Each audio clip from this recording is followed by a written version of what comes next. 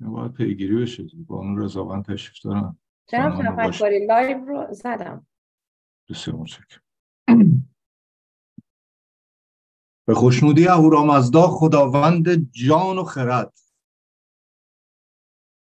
سورج تفکری هستم و این بار در کانون دفاع از حقوق بشر در ایران در قالب نمایندگی شمال آمریکا و همراه همکارانم و همراهانم طبق روال گذشته بر اساس فراخوانهای ماهانه کانون دفاع از حقوق بشر در ایران به حضورتون اومده.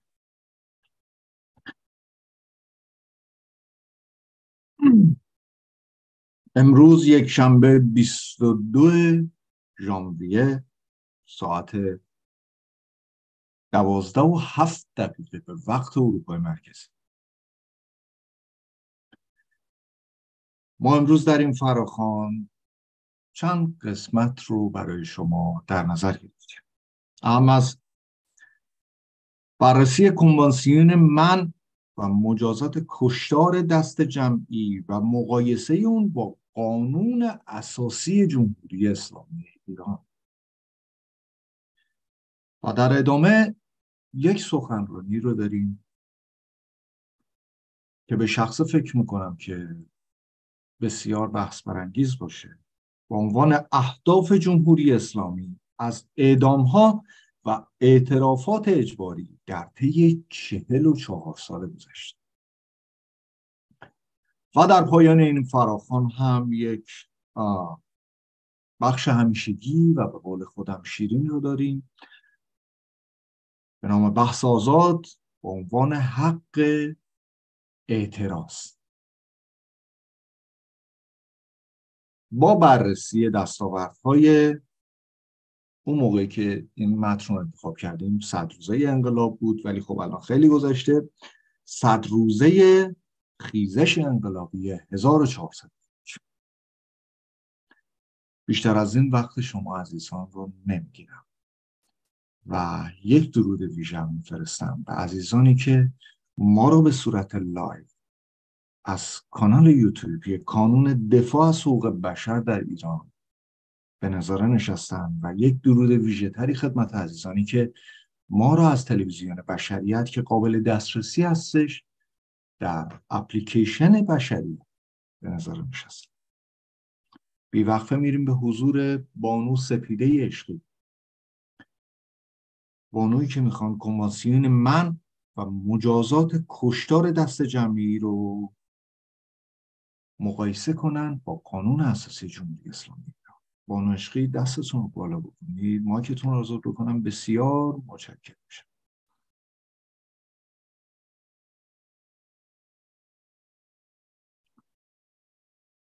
بفرمایید بانو عشقی در ممنون که مایکو در اختیار من قرار دادین. صدای من تو جلسه هست؟ آقای بله بفرمایید. بله سمن عرض درود فراوان خدمت همه دوستان عزیز. در ابتدا کنوانسیون و موادش رو براتون توضیح میدم. سپس به مقایسه اون با قانون اساسی جمهوری اسلامی ایران می‌پردازم. کنوانسیون من و مجازات کشدار دست جمعی. این کنوانسیون در 9 دسامبر 1948 به تصویب مجمع عمومی سازمان ملل رسید. کنوانسیون من و مجازات کشدار دست جمعی کنوانسیونی است که یک روز قبل از تصویب اعلامیه جهانی حقوق بشر تصویب شد. این پیمان مشتمل بر یک مقدمه کوتاه و 19 ماده است. این مقدمه با اشاره به قطعنامه 11 دسامبر 1946 مجمع عمومی قتل عام را بنابر حقوق بین المللی جنایت, جنایت بزرگ شناخته است که مقایرت آشکار با اهداف و روح اهداف ببخشید آشکار با روح و اهداف ملل متحد و متمدن دارد. کنوانسیون من و مجازات قتل عام از جمله کنوانسیون بین المللی است که دولت ایران اون رو در تاریخ 17 آذر 1328 امضا نموده. و در تاریخ 20 آذر 1334 بدون هیچ گونه حق شرط و تحفظی به تصویب مجلس شورای ملی رسانده است. این کنوانسیون مانند دیگر مقررات و قوانین بین المللی با تغییر رژیم ها از بین نمیره و هر دولتی مستلزم رعایت مقرراتی است که رژیم قبلی اون رو امضا کرده. این انظام تنها در صورتی انجام نمی‌گیره که رژیم جایگزین به طور رسمی و قانونی اون رو فصل کنه. طبق آمار سال 1996 سازمان ملل متحد 115 کشور به عضویت این کنوانسیون در اومدن و تعدادی از اونها به برخی از مقررات کنوانسیون حق شرط وارد شدن. از جمله حق شرطی که این کشورها برای خود ملفوظ داشتهاند ماده 9 در مورد درخواست تفسیر در صورت بروز اختلاف از دیوان بین المللی دادگستری و قسمت دوم ماده 6 در مورد اجرای رسیدگی به موضوع به دادگاه بین المللی است. عضویت دولت جمهوری اسلامی و تعهدات آن به این کنوانسیون بدون هیچ حق تحفظ و شرطی به قوت خودش باقی هستش.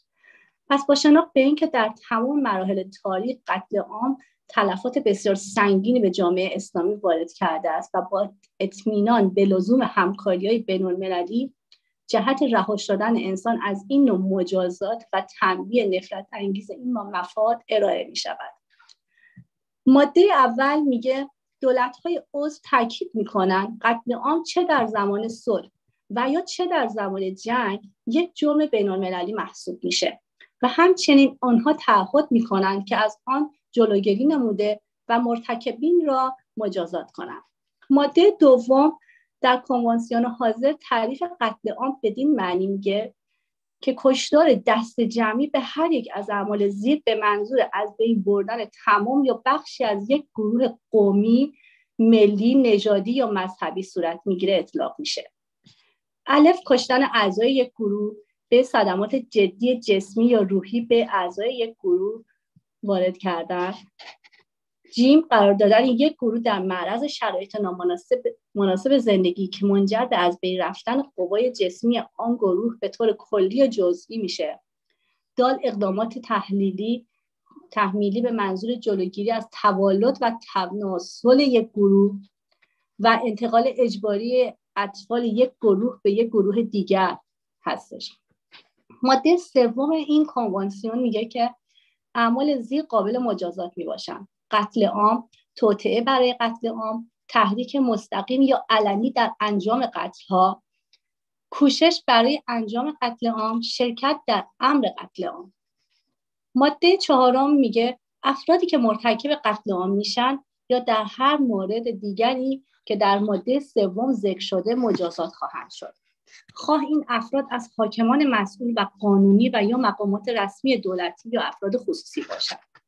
ماده پنجم دولت‌های عضو ضرورت تصویب مقررات کنوانسیون حاضر را در مراجع قانونگذاری خودشان تعهد می کنند تا اجرای کنوانسیون مرسل گردد. آنها به ویژه تعهد می کنند که مجازات های برای اشخاص مجرم در رابطه با قتل عام و یا دیگر اعمالی که در ماده سوم ذکر شده است را در قانون خود تصویب نمایند ماده ششم میگه افرادی که محکوم به قتل عام یا دیگر اعمالی که در ماده سوم ذکر شده است می‌باشند در دادگاه صلاحیت دار کشوری که جرم در آن واقع شده است و مطابق قوانین آن کشور و یا به وسیله دادگاه بین المللی که صلاحیت قضایی آن مورد قبول دولت های عضو باشد مجازات می شوند. ماده هفتم عمل قتل عام و دیگر اعمالی که در ماده سوم ذکر شده است از لحاظ استرداد مجرمین جرم سیاسی محسوب نمیشه دولت های عضو تعهد خواهند کرد که بنابر قوانین کشور خود و قراردادهای موجود با استرداد مجرمین موافقت نمایند ماده هشتم هر یک از دولت های عضو می‌تونند از نهادهای صلاحیت دار سازمان ملل بخواهند که بر اساس منشور سازمان ملل متحد اقدامات مناسب برای جلوگیری و از بین بردن قتل را مورد بررسی قرار بدن.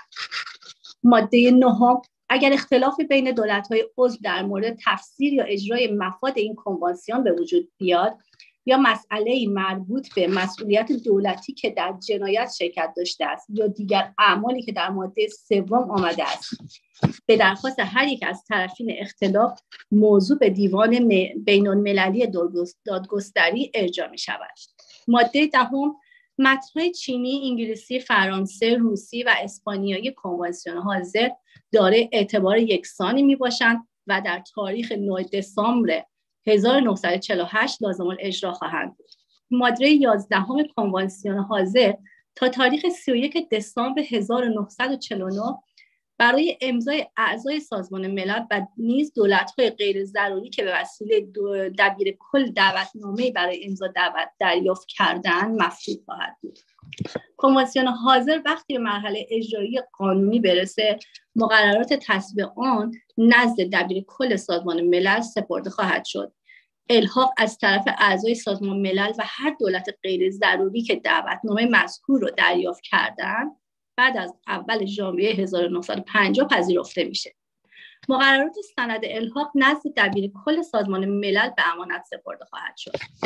ماده دوازدهم این کنوانسیون میگه هر دولت عضوی می‌تونه در هر زمان به وسیله نامه خطاب به دبیر کل سازمان ملل خواستار توسعه کنوانسیون حاضر به تمام یا هر قلمروی باشد. این درخواست به سبب اداره مناسبات خارجی دولت های عضوی که مسئولیت دارند صورت می‌گیره. ماده 13 هم در هنگام سپرده شدن اولین سند تصویب یا الحاق دبیر کل سازمان ملل ابلاغیه شفایی تهیه و تنظیم خواهد نمود و نونوشت آن را به اعضای سازمان ملل و های غیر عضو با در نظر داشتن ماده, ماده 11 ارسال خواهد شد کنوانسیون حاضر 90 روز پس از سپرده شدن بیستمین سند تصویب یا الحاق نزد دبیر کل سازمان ملل قابلیت اجرا پیدا می کند. هر تصویب یا الحاق که بعد از تاریخ ذکر شده ذکر شده اخیر انجام بگیره 90 روز پس از اینکه مقررات تصویب یا الحاق سپرده شود لازم اجرا میشه ماده 14 کنوانسیون حاضر به مدت 10 سال یعنی از روزی که لازم اجرا گردید به اعتبار خودش باقی خواهد بود. پس از آن هر پنج سال به پنج سال در صورتی که حداقل 6 ماه قبل از پایان مدت کنوانسیون توسط دولت های عضو نشود خود به خود تمدید میشه. اعلان فصل از طرف دولت عضو به وسیله نوشتن نامه خطاب به دبیر کل سازمان ملل متحد صورت خواهد گرفت. ماده 15 هم اگر در نتیجه اعلام فصل تعداد دولت های عضو متحد به کنوانسیون حاضر به کمتر از 16 دولت برسد قرارداد مزبور از تاریخ آخرین اعلام فصل از درجه اعتبار ساقط میگردد. ماده 16 هم درخواست تجدید نظر در مورد کنوانسیون حاضر به وسیله تذکر کتبی که دولت عضو خطاب به دبیر کل به عمل میآورد در هر زمان میسر می باشد ماده 17 هم دبیر کل سازمان ملل متحد مراتب زیر و جهت اطلاع به اعضای سازمان ملل و های غیر عضو با در نظر گرفتن ماده, ماده 11 متذکر خواهد شد.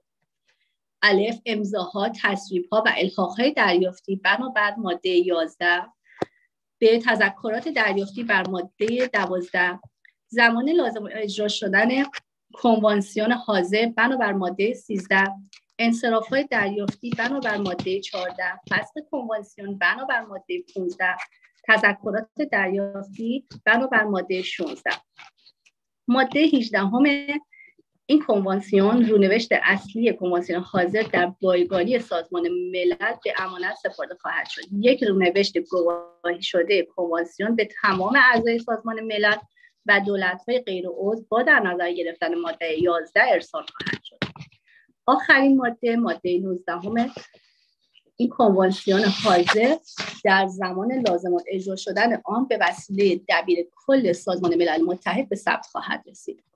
این موضوع برای اون دسته از افرادی که اعضای خود خانواده خودشون رو در قتل عام زندانیان سیاسی تابستان 1367 دست دادن و با تعاریف حقوقی و قانونی که از قتل عام گنوساید در این کنوانسیون آمده است و نیز بنابر مفاد آن دولت هایی که مرتکب چنین جنایتی شدهاند میبایست محاکمه و مجازات گردند و این مجازات فقط شامل حال افراد عادی نمیشه بلکه کسانی که در رأس حکومت قرار دارن و دارای پستهای رسمی و مقامات دولتی هستند را در بر می‌گیره روزنه امیدی گشوده است.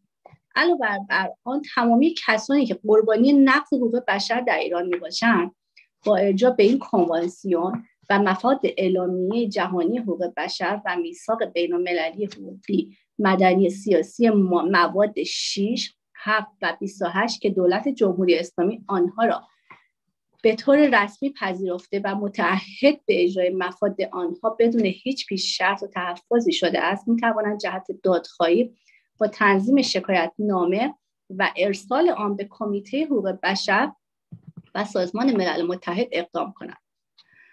حال به مواردی از نقض این کنوانسیون در ایران می‌پردازم رژیم جمهوری اسلامی ایران از فردای پیروزی انقلاب ناتوان از حل تضادهای سیاسی و اجتماعی جامعه ایران برای مقابله با اعتراضات و خواستهای اقشار و ملیتهای مختلف مردم ایران دست به کشتار جمعی و قتل عامهای بسیاری زده. اولین نمونه قتل عام جمهوری اسلامی کشتار در روستای قارنای کردستان ایران و دیگر شهرهای این استان بود. نمونه, دیگر کشتار نمونه دیگرش کشتار مردم ترکمن صحرا در سال 1358 است. پس از آن هم در روز سی خرداد 1360 با گشودن آتش مستقیم به فرمان خمینی به روی شرکت کنندگان در تظاهرات مسالمت آمیز در تهران آن را به یک روش عام در مقابل هر اعتراضی تبدیل کرد تا کنون در برخورد با اعتراضات مردمی یا برای پاکسازی جریان های سیاسی در ایران دهها قتل عام رخ داده. اعدام زندانیان عقیدتی سیاسی در تابستان 1367 یا کشتار 67 یک رخداد بود که در آن به فرمان سید روح الله خمینی چند هزار نفر از زندانیان سیاسی عقیدتی در زندانهای نظام جمهوری اسلامی ایران و در ماههای مرداد و شهریور 1367 به گونه مخفیانه اعلام اعدام شده و در گورهای دست جمعی دفن شدند. بسیار کسانی که اعدام شدن از اعضای سازمان مجاهدین خلق بودند گرچه اعضای دیگر گروه چپگرا مانند سازمان فدایان خلق ایران حزب توده نیز در میان آنها وجود داشتند. نهادها و سازمانهای مدافع حقوق بشر جرم زندانیان را همکاری با سازمانهای مخالف نظام به ویژه سازمان مجاهدین خلق ایران و همچنین طیفهای گوناگونی از گروه های چپ کمونیست و مارکسیست کردند. اما مقامات جمهوری اسلامی ادام ها را به دلایلی همچون کشف تشکلات مرتبط با سازمان مجاهدین خلق در زندان نتیجه ادامه ادامه محاکمه به علت ترور مقامات جمهوری اسلامی توسط آنها ذکر کردند تعداد قربانیان این واقعه نزد مراجع گوناگون متفاوت را در بین 1879 نفر تا 3000 یا 400 یا 4482 نفر تخمین زده شده. مقامات بلندپایه نظام جمهوری اسلامی ایران انجام اعدام ها را انکار نمی کنند بلکه در قریب به اتفاق موارد از آنها دفاع کرده و آن اعدام ها را برای حفظ نظام لازم و ضروری شمردند اما واقعیت این است که به گفته خانواده برخی از اعدام شدگان و افرادی که از اعدام ها جان سالم به در بردند بسیاری از بازداشت شدگان در دهه 60 جوانانی در دهه 20 زندگی خود بودند که به گفته خود زندانیان عمدتا به دلیل داشتن اعلامیه و نه فعالیت مسلحانه بازداشت شده بودند و در تابستان 67 در حال گذراندن محکومیت خود بودند یا یا محکومیتشان تمام شده بود. فرآیند اعدام ها در بیخبری مطلق زندانیان صورت می‌گیره و هیئت اعدام در تهران به زندانیان اطمینان می‌داد که چند, چند سوال برای اعطای عفو عمومی می‌پرسند در صورت عدم رضایت از پاسخها هیئت اعدام فورا دستور انتقال به اتاقی برای نوشتن وصیت‌نامه می‌دادند و سپس زندانیان در دسته های شش نفری و با چشمان بسته به دار آویخته می در نهایت اعدام شدگان بدون اطلاع به خانواده ها در گروه دست جمعی به خاک سپرده می شدن. بیشتر خانواده ها نیز پس از چند ماه خبردار شدند که فرزندشان اعدام شده است حسین علی منتظری بلندپایه ترین مخالف اعدام ها بود که پس از اعتراض های کتبی در یک جلسه حضوری به تاریخ مرداد 1367 به حضور هیئت اعدام ها یعنی حسین علی نیری حاکم شهر وقت مرتزا اشراقی دادستان وقت ابراهیم رئیسی معاون وقت دادستان و مصطفی پور محمدی نماینده وقت وزارت اطلاعات در زندان اوین. به آنها می‌گوید که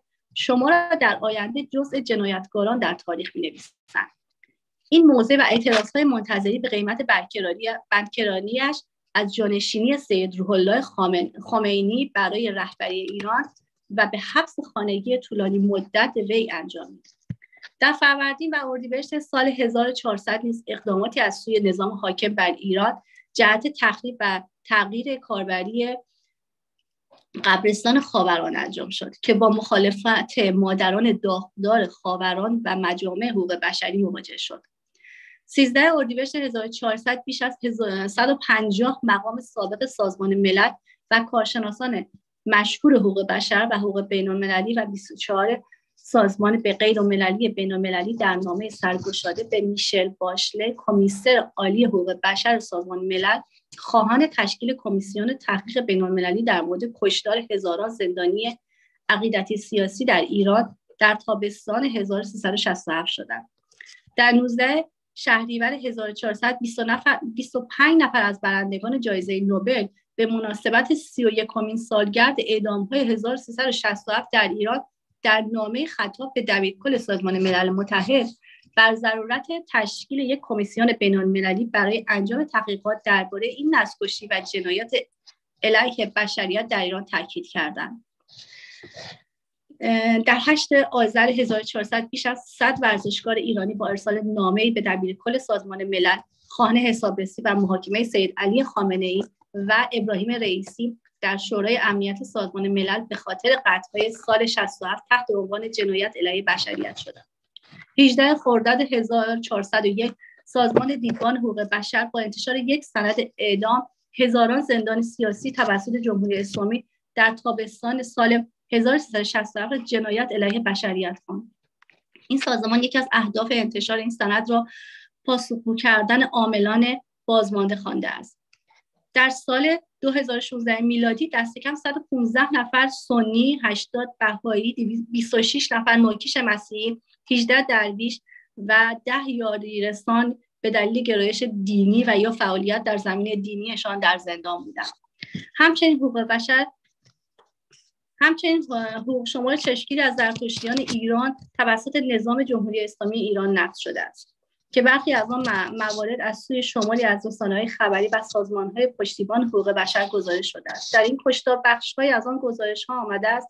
زردشتی ها مانند دیگر ادیان از سوی حکومت جمهوری اسلامی به گونه سازمان یافته آزار می‌بینند. اعدام ها ترور احضار بازداشت شکنجه و زندان از دیگر مصادیق نقض این کنوانسیون در ایران است. همینطور اعتراضات آبان 1398 ایران یا آبان خونین مجموعه اعتراضات مردمی و ضد حکومتی در سراسر ایران بود که در 24 آبان 1398 و پس از انجام سهمیه بندی بنزین در ایران و افزایش 200 درصدی قیمت بنزین آغاز شد. این اعتراضات که عمدتا در محلات کارگری و فقیرنشین شهری متمرکز و در ابتدا مسالمت آمیز بود در واکنش به افزایش قیمت بنزین آغاز شد. ولی سپس نظام جمهوری اسلامی و رهبران روحانی آن هدف آن را هدف گرفت و بر اساس گزارش های نهادهای امنیتی ایران 29 استان و صدها شهر دستخوش نارامی شدند. طبق معمول دولت ابتدا با اینترنت را مختل می‌کنه و از 25 آبان به دستور شورای عالی امنیت ملی قطعی سراسری اینترنت آغاز میشه. با گسترش تجمعات اعتراضی محمد جعفر منتظری دادستان وقت کل ایران معترضان را اختلالگر خواند و تهدید کرد که با آنها برخورد جدی خواهد شد. همزمان با آنها ببخشید با صحبتون قبل جمع بله. خطر خبر ساقط کردن موشکی پرواز 752 در سهرگاه 18 دیما توسط سپاه انقلاب اسلامی به اندازه باور نکردنی و تصور ناپذیر بود که گذشته از دروغگویی و پنهانکاری مقامات رژیم تا چندین روز به اصطلاح تحلیلگران به همراه لابیگران حکومت حکومت مشغول توضیح و توجیه انواع دلایل فاجعه بودن مگر آنچه واقعا اتفاق افتاده بود. با این همه پرواز پرونده پرواز 752 هنوز به نتیجه نرسیده. و خیزش 1400 یک ایران خیزش اعتراضی در ایران است که در پی کشته شدن محسا امینی به دلیل ضرب و در بازداشتگاه گشت ارشاد آغاز شد. این خیزش از 26 شهریور 1401 با تجمع اعتراضی در مقابل بیمارستان محل مرگ محسا امینی در تهران آغاز شد و در روزهای بعد به همه 31 استان ایران گسترش شد و همچنان ادامه داره معترضان در خارج از کشور نیز در بیش از 150 شهر در سراسر جهان تجمعهای اعتراضی برگزار می کنند. این قیام در هفته بعد و حضور در دانش آموزان، دانشجویان، اعتصاب استادهای دانشگاه، کسبه و بازار گسترده تر و وارد پنجمین ماه شد. و در نهایت باید بگم که در دهه سوم قرن 21 که بسیاری از کشورهای جهان مجازات حکم اعدام را لغو کردند جمهوری اسلامی معترضین را به مجازات اعدام محکوم می کند ارگان قوه قضایی ایران روز چهارشنبه 25 آبان گزارش داد که دادگاه انقلاب تهران برای سه شرکت کننده در اعتصابات اخیر حکم اعدام صادر کرده. 227 نفر از نمایندگان انتصابی مجلس شورای اسلامی خواهان شدت عمل نسبت به اعتراض کنندگان به عنوان محارب شدند. این اقدام در واقع ادامه کشتار معترضین در خیابانها بازداشتگاه هستش. در حکومت جمهوری اسلامی ایران زندانیان عقیدتی سیاسی به گونه سیستماتیک شکل میفرمایید. با متشکرم. تموم میشه. ممنون. در حکومت جمهوری اسلامی زندانیان عقیدتی سیاسی به گونه سیستماتیک شکنجه شده و حقوق بین المللی به رسمیت شناخته شدند. آنها و همچنین دیگر شهروندان مانند معلمان و استادان و دیگر اندیشان و سایر ادیان مدام نقض می شود و امید داریم روز تمام تمامی عاملان این جرم ها در دادگاه در دادگاه عدالت مجازات شود همچنین در قانون اساسی جمهوری اسلامی ایران اصول زیر داریم که متاسفانه به هیچ کدام عمل نمی شود اصل 19 هم مردم ایران از هر قوم قبیله که باشند حقوق مساوی برخوردارند و رنگ و نژاد و نظام زبان و مانند اینها سبب امتیاز آنها نخواهد شد. اصل 22 حیثیت جان مال حقوق مسکن مسکن و شغل اشخاص از تعارض مسئول است مگر در مواردی که قانون تجویز کند؟ اصل 23 تفتیش عقاید ممنوع است و هیچ کس را نمی‌توان به صرف داشتن عقیده در مورد تعارض و مؤاخذه قرار داد. اصل 38 هر گونه شکنجه برای گرفتن اقرار و یا کسب اطلاع ممنوع است. اجبار شخص به شهادت اقرار یا سوگند مجاز نیست و چنین شهادت و اقرار سوگندی فاقد ارزش اعتبار است. ممنون که به صحبت های من گوش دادین. موارد نقض زیاد بود ولی متاسفانه نتونستم همش رو بخونم در حال ممنونم. سپاسگزاریم از این جنبندی شما. من اول نظر شخصی خودم به عنوان فعال حقوق بشر و کسی که تو این کار هستش بگم. ما امروز می‌خواستیم که در قسمت اول کنوانسیون من شکن من و مجازات کشتار دست جمعی و مقایسه با قانون اساسی رو داشته باشیم که من تو این گزارش همچین چیزی اصلا ندیدم. ما یک گزارش اتفاقات ایران در طی 44 سال از بانو عشقی شنیدیم. بانو عشقی یه اسمی هم از من تو گزارشتون میبردید چون که کامل سخنرانی ناگفته های ادامه های 67 منو خوندید بعد که بازنگری بشه. مقایسه کنوانسیون با خوندن اخبار و گزارش ها یکم فرق ولی خب موارد بسیاری رو گفتید دوستان همه رو می‌دونستم ولی خب باز هم ازتون متشکریم.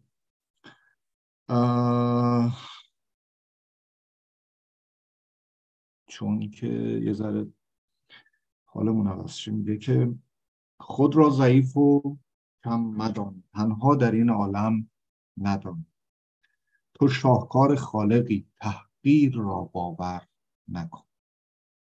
بر روی بوم زندگی هر چیز می‌خواهی بکش. زیبا زشتش پای توست تحقیر را باور نکن. تصویر اگر زیبا نبود نقاش خوبی نیستی. از نو دوباره رسم تصویر را باور خالق تو را شاد آفرید آزاد آزاد پرواز کن تا آرزو. زنجیر را باور کن. این هم یه پیامی داشتیم برای عزیزانی که در کشور عزیزمون ایران به راهشون ادامه بدن. در صورت در مورد صحبت های بانو عشقی محترم اگر عزیزی در جمع صحبتی دارن نظری دارن انتقادی پیشنهاد چیزی با گوش جان میشن و اگر هم نظری نیست میریم به قسمت بعد. سخنرانی داریم در مورد اهداف جمهوری اسلامی از اعدام ها و اعترافات اجباری در طی چهل و چهار سال گذشته که جناب آقای پوریا فرجی این سخن رو برای ما ایراد جناب آقای فرجی محترم دستتون بود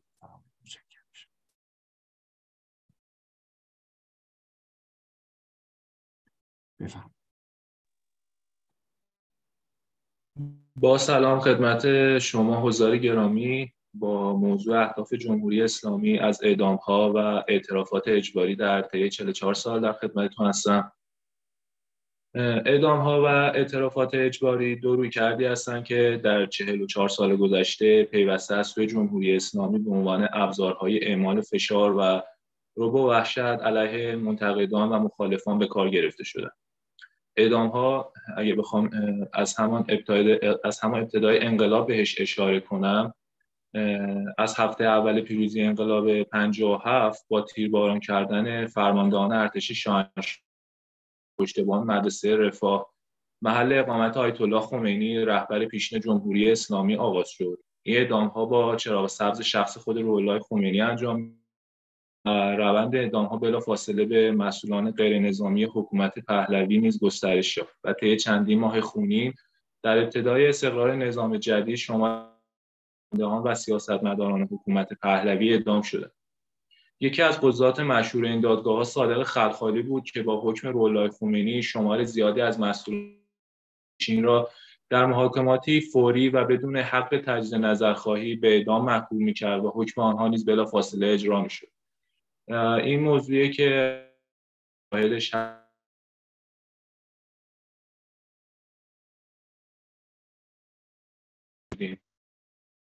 همزمان با شروع تنش و درگیری بین نیروهای جمهوری اسلامی ایران و برخی منتقدان و مخالفان آن در برخی مناطق کشور در سال 1158 هم موج بعدی اعدام ها با سفرهای صادق خلخالی به مناطق مختلف ایران شروع شد.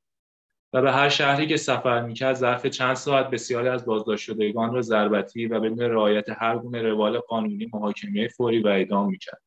به گونه ای که سفر خلخالی به هر شهر رو و وحشت در بین مردم ایجاد می‌کرد و او به قصاب جمهوری اسلامی مشهور شده بود. بنا به گزارش سازمان عفو بین الملل از پیروزی انقلاب تا اسفند 1359 تعداد 1062 نفر توسط دادگاه انقلاب اعدام شدند. در ابتدای دهه 1360 هم نیز با افزایش اختلاف بین گروه های سیاسی و حکومت جمهوری اسلامی موج دیگری از اعدام اعضای بازداشت شده گروه های سیاسی مخالف و منتقد در زندان ها شروع شد. دو چهره دیگر که در این دوره نام آنها به عنوان عامل اعدام ها مخالفان مطرح شد محمدی گیلانی حاکم شهر وقت دادگاه انقلاب اسلامی و اسدالله لاجوردی دادستان وقت انقلاب بودند که در تندروی به عامل و اعمال فشار بر مخالفان سیاسی نظام و صدور و اجرای احکام متعدد اعدام مشهور بودند. در همین دوره همزمان با موجهای مختلف اعدامها در زندانها جمهوری اسلامی ایران به شکل گسترده‌ای بحث اعتراف اجباری تحت فشار و شکنجه از مخالفان سیاسی خود روی آورد. شماری از اعضای گروه های سیاسی منتقد و مخالف حکومت بازداشت. و زیر شکنجه مجبور به اعتراف اجباری علیه خود و دیگر اعضای آن گروه ها شدند تلویزیون جمهوری اسلامی نیز از همان زمان در همکاری تنگاتنگ با نهادهای امنیتی و اطلاعاتی شروع به بازپخش گسترده آن اعترافات اجباری شد اعترافاتی که در نهایت به اعدامهای زیادی ختم شد. بنا به گزارش سازمان عفو بین‌الملل از سال 1360 تا 1366 19665 نفر اعدام شدند. در سال 1367 با اعدام دست جمعی چند هزار زندانی سیاسی نظام حاکم بر ایران بار دیگر به استفاده گسترده از حربه اعدام برای از بین بردن مخالفان خود اقدام کرد. از اعدام زندانیان سیاسی در سال 1367 به عنوان بزرگترین و خونینترین اقدام علیه مخالفان جمهوری اسلامی در یک مقطع مشخص یاد می شود. پس از اعدام مخفیانه چند هزار زندانی سیاسی اجساد آنها نیز مخفیانه دفع شد و اعدام آنها تا مدتی از خانواده آنها و تا مدتی بیشتر از مردم عادی و نهادهای بین المللی پنهان نگه داشته شد گزارشگر ویژه حقوق بشر سازمان ملل تعداد زندانیان اعدام شده را دست کم 4484 نفر اعدام کرده بود بعد از اعلام این آمار وضعیت داخل زندانها بر علیه جمهوری اسلامی بدتر شد و حمید نوری یکی از عوامل قتل عام سال 1367 در خطاب به برخی از زندانیان گفت بروید خدا رو شکر کنید که زنده هستید. ما اگر می‌خواستیم فتوای امام خمینی را به طور کامل اجرا کنیم باید نصف مردم ایران را دستگیر و اعدام می‌کردیم. که این صحبت آقای نوری خود نشان از این است که در سال 67 نصف بیشتر مردم مخالف این رژیم بوده پس از شورش های شهری دهه 1370 در شهرهای مانند مشهد، اسلامشهر و قزوین که در اعتراض به اوضاع بعد اقتصادی و برخی دلایل دیگر رخ دادن حکومت بار دیگر حربه اعدام را برای برخورد با معترضان و ساکت کردن جامعه به کار گرفت.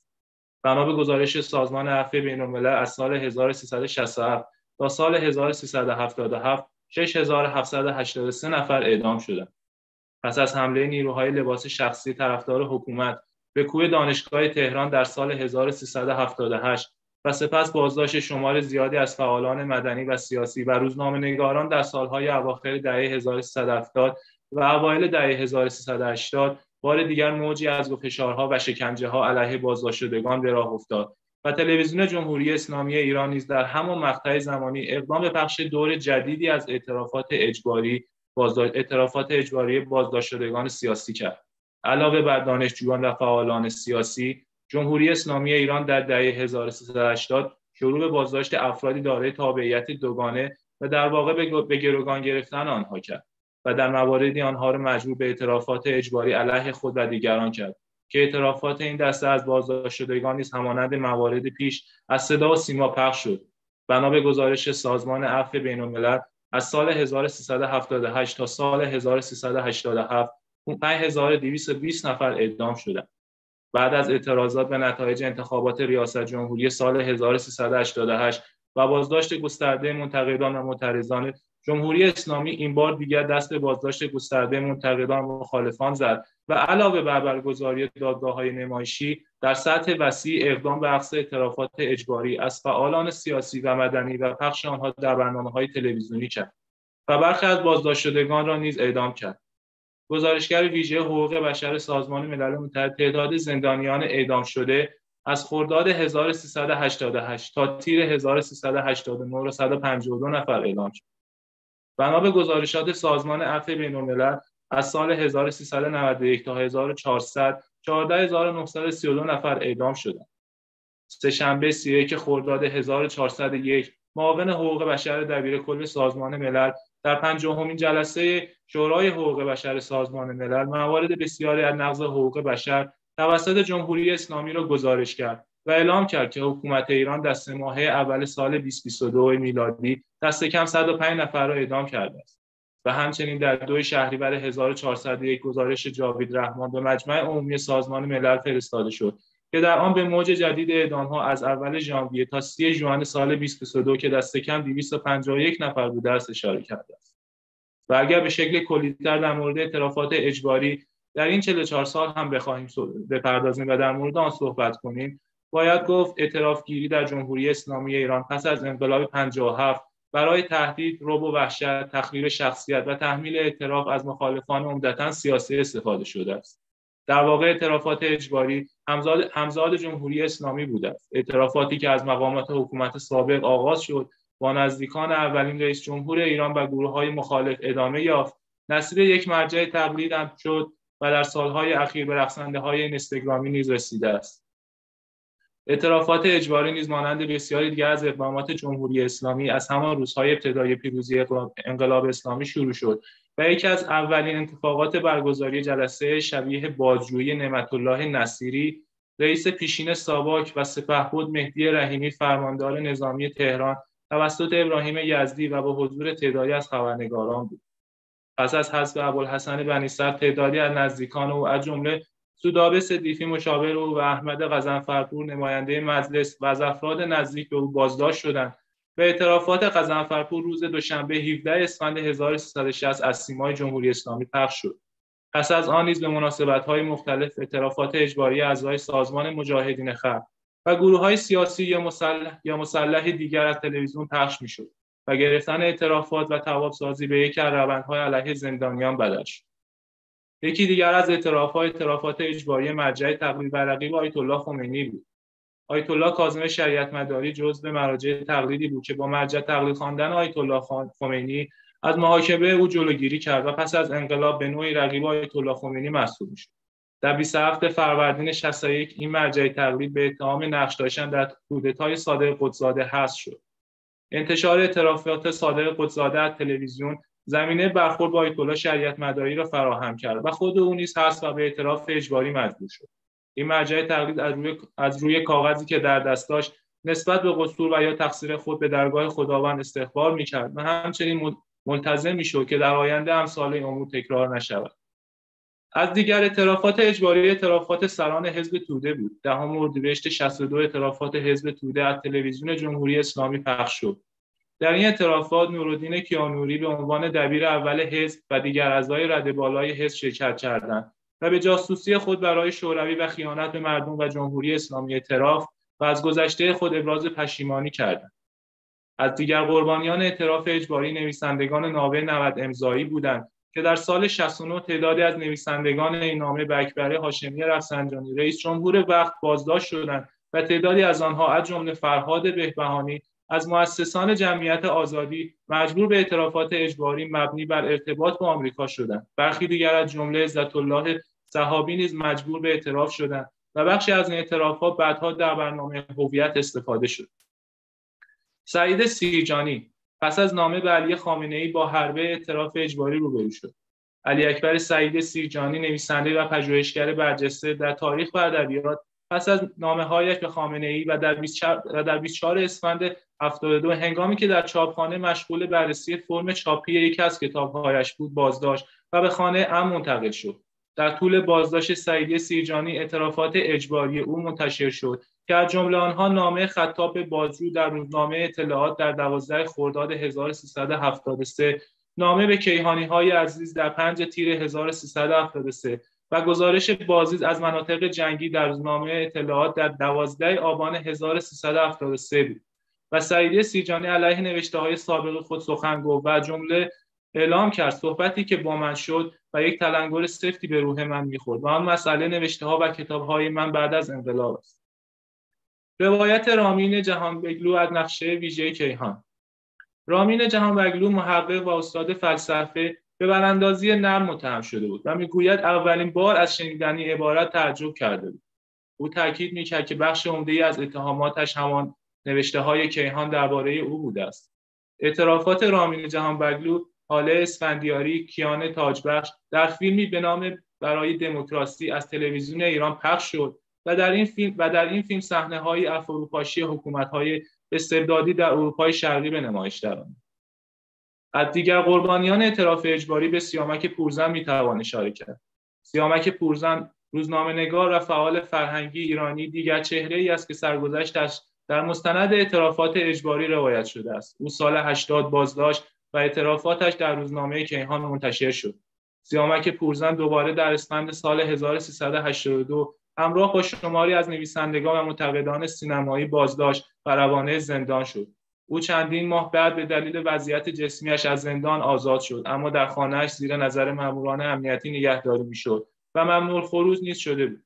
سال 90 خبر فوت سیامک پورزن منتشر شد. و لیلی پورزن دخترش گفت که پدرش خود را از طبقه ششم ساختمان محل سکونت خود در تهران به پایین پرت کرده و در کمال قدرت و اراده به زندگی خود پایان داده است. علی افشاری و بازخانی مقاله کیهان به عنوان اعترافات علی افشاری عضو شورای مرکزی دفتر تحکیم وحدت در مستند اعتراف اجباری ساختار بهاری گفته که مطلب روزنامه کیهان نوشته مرتضا قمری وفا خبرنگار روزنامه کیهان را جلوی او گذاشته و گفتند که اعترافات اجباری باید بر همان اساس باشد. بعدها علی افشاری در نامه افشا کرد. که ابتدا باجو از او مصاحبه اجباری گرفته و سپس مصاحبه کننده صدای سیما اسماعیل فلا بر روی در چارچوب متن از پیش و در چارچوب متن از پیش تعیین شده سوالاتی را مطرح کرد و من نیز پاسخهای مد نظر بازجویان را ارائه کردم. به گفته افش فیلمی با مونتاژ فیلم پرشده در حضور بازجو و فیلم مصاحبه با خبرنگار صدا و سیما در بخش‌های خبری صدا و سیما پخش شد. علی افشاری از رضا بازجو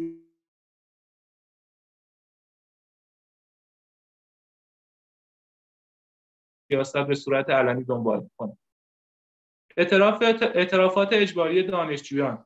پس از اعترافات اجباری از علی افشاری نوبت به دانشجویان رسید. و در سال 80 تعدادی از دانشجویان بازداشت شده از جمله سعید قاسمی نژاد و پیمان عارف مجبور به اعترافات اجباری شدند. این دانشجویان همچنین مجبور شدند در حضور محمد حسن ابوترابی نماینده اصولگرا و محسن صفایی فراهانی نماینده اصلاح طلب مجلس این اعترافات اجباری را تکرار کنند. مصاحبه اجباری دستن در کاران نظرسنجی رابطه با آمریکا. پس از انتشار نظرسنجی درباره تمایل اکثر مردم ایران به رابطه با آمریکا عباس عبدی و حسین قاضیان که مؤسسه, که مؤسسه پژوهشی با عنوان آینده را اداره می‌کردند و بهروز گرانپایه مدیر مرکزی ملی پژوهش افکار عمومی بازداشت شدند و وادار به مصاحبه مطبوعاتی و اعتراف اجباری شدند. عباس عبدی در روایت این مصاحبه نوشته است در آنجا حرفم را هم زدم که به معنای حصول توافق با دادگاه بود که به سوی آقای مرتضوی اشاره کردند. در نتیجه وی فردای آن روز به زندان آمد و گفت از آن جمله تو برداشت کردند که توافقی صورت گرفته است که طبعا برداشت درستی آمد. اعترافات اجباری وبلاگ نویسان امید معماریان رودبه میر ابراهیمی شهرام رفیعزاده و جواد تمیمی چهار روزنامه‌نگاری بودند که در پرونده موسوم به وبلاگ نویسان بازداشت و مجبور به اعترافات اجباری شدند. امید معماریان و روزبه میر ابراهیمی بعدا اعلام کردند که در مدت بازداشت به مدت طولانی در زندان انفرادی به سر بردند کتک خوردند در مورد ارتباط جنسی ادعایی به خصوص با همکاری مطبوعات مطبوعاتیشان با های طولانی شده و مجبور شدند در مورد حدود چهل نفر از چهرههای مشهور و غیر مشهور اصلاح طلب تکنویسی بپردازند. اعترافات اجباری سالونی در سال 88 تفاوت اعترافات اجباری در سال 88 با دیگر سالهای اعترافات در سالن دادگاه و تکرار آن در رسانه ها بود. بعدها عزت الله زرقامی گفت که اعترافات اجباری تعدادی از چهرههای سیاسی بازداشت شده در ارتباط با اعتراضات به انتخابات ریاست جمهوری سال 88 با, دست با دستور شورای عالی امنیت ملی در تلویزیون پخش شده و از نظر شورای عالی امنیت ملی پخش آن دادگاه ها و اعترافات به مدیریت اعتراض های سال 88 کمک می‌کرد. عبدالله مؤمنی سخنگوی ادوار تحکیم وحدت و حمزه کرمی از افراد نزدیک به مهدی هاشمی از جمله افرادی بودند که اعلام کردند که این اعترافات پس از شکنجه هایی چون نگه داشتن سر در کاسه توالت و تهدید به تجاوز و تهدید به استعمال بطری افز شده است. محمد علی ابتهی نیز گفت که سعید مرتضوی حکم اعدام را به او ابلاغ کرده است. سکینه محمدی آشتیانی باستاب گسترده جهانی داشت. همزمان با اعتراف سال با اعتراضات سال 88 محکومیت سکینه محمدی آشتانی باستاب گسترده در جهان داشت و در واکنش به این ها تلویزیون ایران اعترافات اجباری او را پخش کرد که در آن او به ارتکاب, به ارتکاب زنای محسنه و قتل همسرش ارتفاع کرده و در عین حال وکیل مدافع خود را نیز به سوء استفاده متهم ساخته است. مازیار ابراهیمی و کلوپ ترور یکی از برنامه های ثابت در صدا و سیما و به خصوص شبکه پرس بخش اعترافات اجباری افرادی است که به اتهام اقدامات نظامی علیه جمهوری اسلامی بازداشت می شود. یکی از جنجالترین پرونده ها مربوط به مازیار ابراهیمی و دیگر افرادی بود که مجبور شدند به ترور دانشمندان هسته‌ای اعتراف کنند بدون آنکه نقشی در آن داشته باشند. از اکثر از اکثر زندانیان کرد اعدام شده به اتهامات اقدامات مسلحانه نیز اعتراف اجباری گرفته شد که از جمله آنها لغمان و زانیار, و زانیار مرادی بودند که برای اعتراف به عضویت در کموله و کشتن سه نفر از جمله پسر امام جمعه مریوان شکنجه شدند. روح زن مصاحبه با بازجو خبرنگار. مصاحبه روح زن با علی رزوانی یکی از بازجو خبرنگاران صدا و سیما بود. روح زن در مقابل سوال این خبرنگار که اعتراضات دیمای 1196 را اختشاش خان گفت. شما می‌گویید اختشاش اما ما به آن اعتراض می‌گوییم. پس از آن نیز اعترافاتی از زن پخش شد که بعدها خانواده او افشا کردند که به او گفته شده این اعترافات برای پخش شدن نیست و ماموران آن را تنها برای خود ضبط می‌کنند و در آخر هم اعدامش کرد دو تابعیتی ها یکی از برنامه های روتین درباره شهروندان خارجی یا دو تابعیتی بازداشت شده در ایران پخش اعترافات اجباری آنان است که آخرین مورد آن پخش اعترافات سیسیل کولر عضو فدراسیون آموزش و فرهنگ سندیکای نیروی کار فرانسه و همسر ژاک بری بود. نازنین زاغری و سعید ملک نیز از جمله شهروندان دو تابعیتی بودند که اعترافات اجباری آنان پخش شد. اعترافات اجباری رقصنده های اینستاگرامی دامنه اعترافات اجباری در سالهای اخیر از موضوعات سیاسی به موضوعات اجتماعی نیز تسری یافته و در سال 97 اعترافات اجباری مایده هجبری در قالب, مستندی به نام بیراهه از صدا سیمای جمهوری اسلامی واکنش گسترده ای را به دنبال داشت. مایده هجبری نوجوان متولد سال 1380 که ویدیوهای رقصیدن خود را در صفحه اینستاگرام خود منتشر می‌کرد و بالغ بر 600 هزار دنبال کننده داشت. از سوی پلیس فتای جمهوری اسلامی بازداشت شد. در کل در سالهای 96, 98 و 1401 نیز اعترافات بسیاری از معترضان پخش شد. با این تفاوت که در این سالها اعترافات افرادی پخش می‌شد که مقامات امنیتی آنان را لیدرهای اعتراضاتی در خیابانها میخواندند. از جمله اعترافات فاطمه دادوند زنی که بالای خودرو ایستاده بود. یکی از نمادهای اعتراضاتی آبان ماه همچنین مهدی محمدی فر شهروند 18 ساله در جریان اعتراضات سراسری 1401 در تاریخ 8 مهر ماه در نوشهر بازداشت شد. به اتهام محاربه مفسد فعل از لیدر اعتراضات. به دو بار اعدام محکوم شده است. تمامی اعتراضاتی که در اعتراف تمامی اعترافاتی که در دوران بازجویی مهدی عقص شده تحت آزار و اذیت و فشار اعمال شده و بر وی صورت گرفته است. خانواده مهدی تاکید کردند. تنها مستندات پرونده علیه وی که منجر به صدور حکم دو بار اعدام برایش شده است اعترافات اجباری عقص شده از او در دوران بازجویی و همچنین فیلمی منتصب به مهدی است که به هیچ عنوان چهره فرد مش... مش... مورد اشاره در آن مشخص نیست. صدا سیمای جمهوری اسلامی در طی 14 سال از سال 2009 تا 2023 دست کم 380 مورد اعترافات اجباری را پخش کرده است که از جمله قربانیان آن منوچهر بختیاری پدر پویا بختیاری از کشته شدگان اعتراضات آبان ماه 98 سپید قلیان اسماعیل بخشی کارگر هفت محمد سلاس از درابیشان گنابادی. نوید افکاری محسن شکاری و مجید رضا رهنورد هستند. هرچند که به واسطه همین اعترافات اجباری و پرونده سازی کردن چندین حکم اعدام دیگر صادر شده و هر لحظه امکان اجرایشان هست. متاسفانه حکومت جمهوری اسلامی محمد سلاس را در سال 97 و نوید افکاری را در سال 98 و محسن شکاری و مجید رضا رهنورد را در سال 1401 که هر سه بر طبق مدارک بیگناه بودند را پس از شکنجه های قرون وسطایی و اعترافگیری اجباری اعدام کرده است. نکته ای که وجود دارد این است که این اعترافات اجباری شامل خانواده قربانیان نیز می شود و جمهوری اسلامی ایران در چهار ماه گذشته پس از تجاوزها و کشتار بیرحمانه مردان و زنان و کودکان ایران زمین به سراغ خانواده قربانیان رفته و با بیشرمی تمام با تهدید به تجاوز و قتل بدون در نظر گرفتن شرایط روحیشان آنها را مجبور به صحبتهایی بر علیه عزیزان از دست رفتهشان می‌کنند در واقع نگاهی به روند 44 ساله گذشته نشان می‌دهد که جمهوری اسلامی ایران مستمر و گسترده از دو اهرم اعتراف اجباری و اعدام در مقابله با منتقدان و مخالفان خود استفاده کرده است. در سوی مقابل منتقدان و مخالفان جمهوری اسلامی در تمامی این 44 سال کوشیدن تا ضمن افشای روش های ضد بشری و غیر قانونی نهادهای امنیتی و قضایی حکومت و زیر سوال بردن اعتبار اعترافات بازداشت شدگان چنان اعترافاتی را محصول فشارهای روانی و فیزیکی بر آنان معرفی کنند. نهادهای حقوق بشری ایرانی و بین المللی نیز در هر مورد خاص کوشیدن اعتبار آن اعترافات را زیر سوال ببرند و نظام حاکم بر ایران به خاطر نقض حقوق بازداشت شدگان مورد انتقاد قرار دهند و در موارد بسیاری محکوم کنند.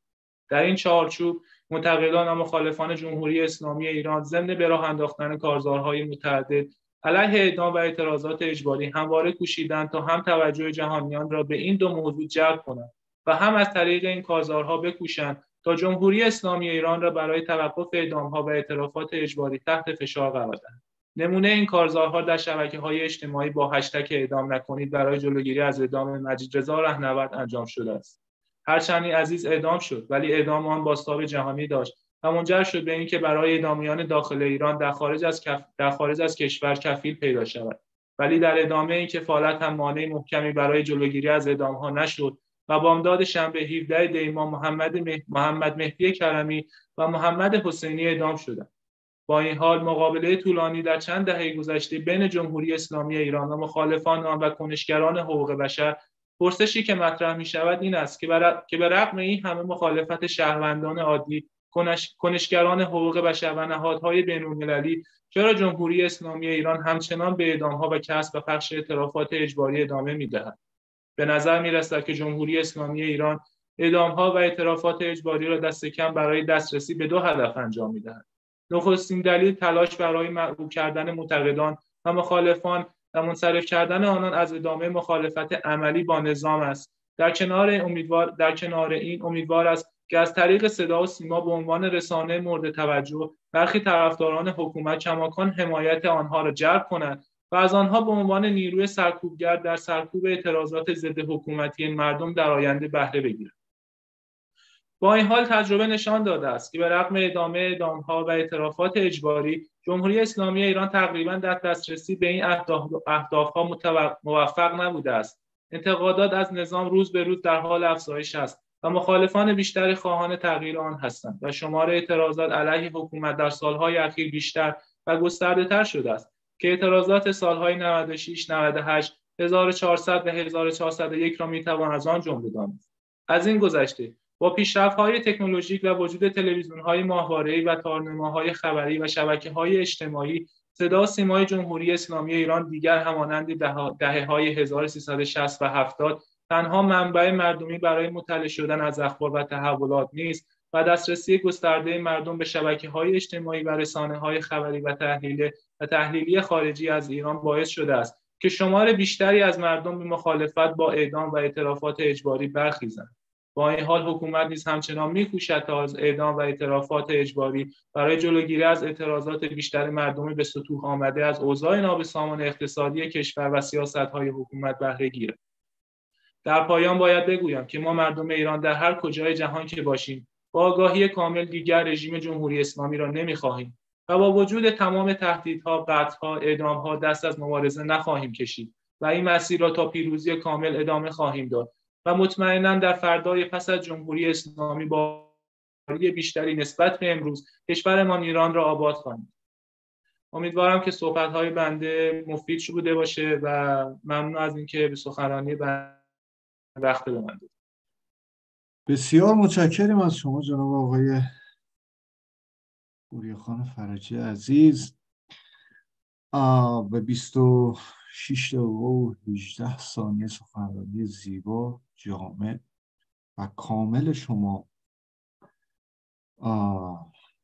در مورد اهداف جمهوری اسلامی از اعدام ها و اعترافات اجباری در طی چهار دهه گذشته گوش دادیم. به نظر شخصی من بسیار کامل و جامع بود. توصیف کردید از روند اعتراف اجباری. از بسیاری از فعالین سیاسی مدنی و حقوق بشری نام بردید. از زنده یاد روح الله زم یاد بود یاد کردید و من رو به شخصه یاد اون جمله معروف آقای زن میندازه که اگر هم می‌خوای بمیری با شرف بود. خدمت رو ارز کنم که همونطور که می‌دونیم کار جمهوری اسلامی گسترش وحشت برای حکومت هستش و البته همونطوری که خداشون توصیف می‌کنن من خودم بسیار لذت بردم از سخن و امیدوارم که دوستان هم نظر خودشون رو داشته باشن و این سیم خواردارها بر هنجره های خودشون رو بردارن و صحبت بکنن. واقعا حیف این سخنرانی بررسی نشه و, بخش و بخوایم ازش گذر بکنیم. و بریم به قسمت بعد. واقعا کم لطفیه در حق جناب آقای فرشی عزیز. جناب آقای عرام بفرمایید در خدمت هستیم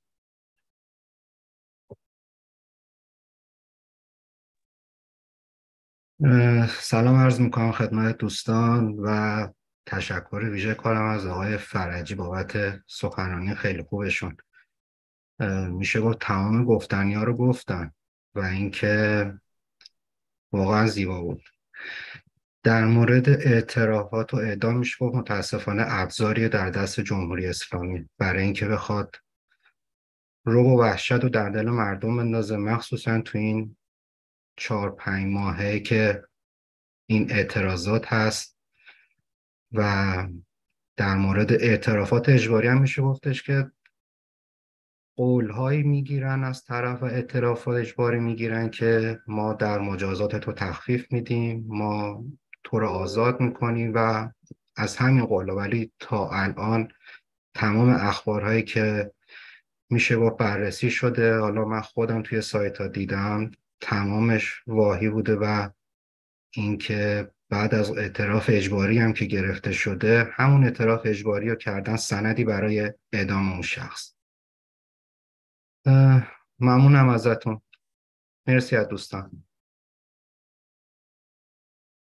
بسیار متشکرم از شما جناب آقای عربی محترم بابت اینکه نظر خودتون عنوان کردید. همونطور که در کلاس های دیگر در جمع های دیگر در کانون دفاع از حقوق بشر در ایران همیشه من خدمت دوستان عرض می‌کنم که ما باید از حق اظهار نظر و مشارکت خودمون استفاده بکنیم.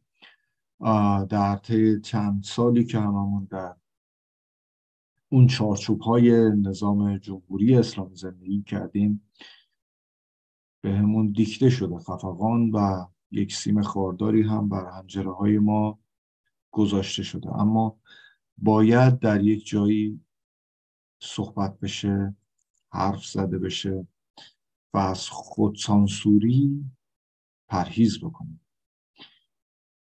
بانو ابتایی محترم بفرمایید. با عرض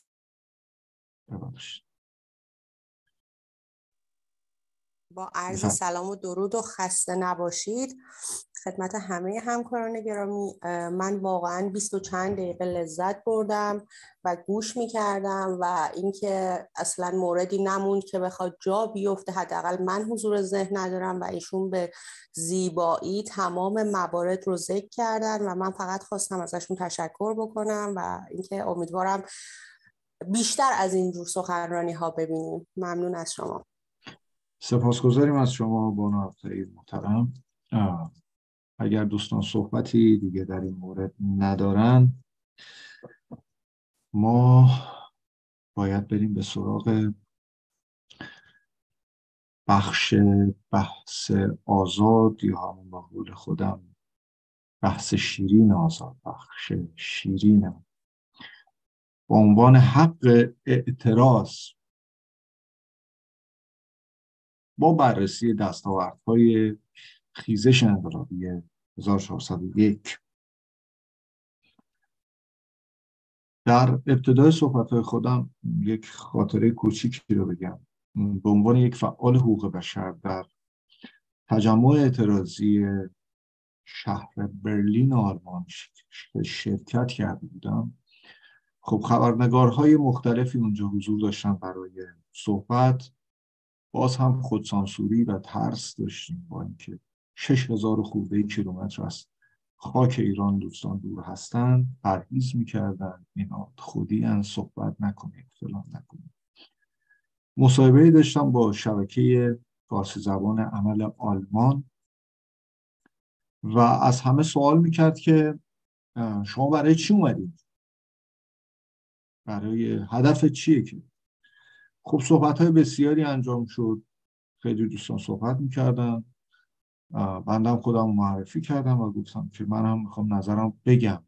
گفت و خبرنگار هم گفت بفرم گفتم که من برای حق اومد چیزی که شاید به اندازه الان در سال 1388 که اون موارد پیش اومد ازش نمی‌دونستم. خیلی چیزها شامل میشه. حق. همین که من دارم با شبکه تلویزیونی شما صحبت می‌کنم این حق منه که بخوام حرفم رو بزنم. ما امروز اینجا از یکی از حقوق خودمون اومدیم دفاع کنیم به نام حق اعتراض.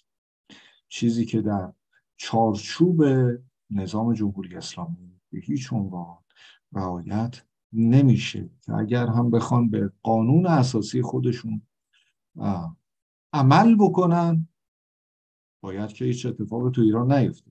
کل دنیا که میان یک سری اعتراض های مسالمت آمیز انجام میشه و میره. ولی خب در ایران اگر که این بند رو هم انجام بدیم خب باید در عوضش یک حرکتی هم از سمت مسئولین انجام میشه پاسخگویی بشه شفاف سازی بشه عذرخواهی بشه یا اینکه از نصب های بعدیش انجام بشه ولی خب به کل انجام نمیشه. و ما برای این اومدیم. ما برای حقوق اومدیم برای حق اومدیم حق حرف زدنمون اومدیم حق ذاتیمون اومدیم حق شهروندیمون اومدیم. که هیچ کدوم در چارچوب حکومت جمهوری اسلامی نداریم. دوستان در مورد حق اعتراض حق حرف زدن در موارد گوناگون.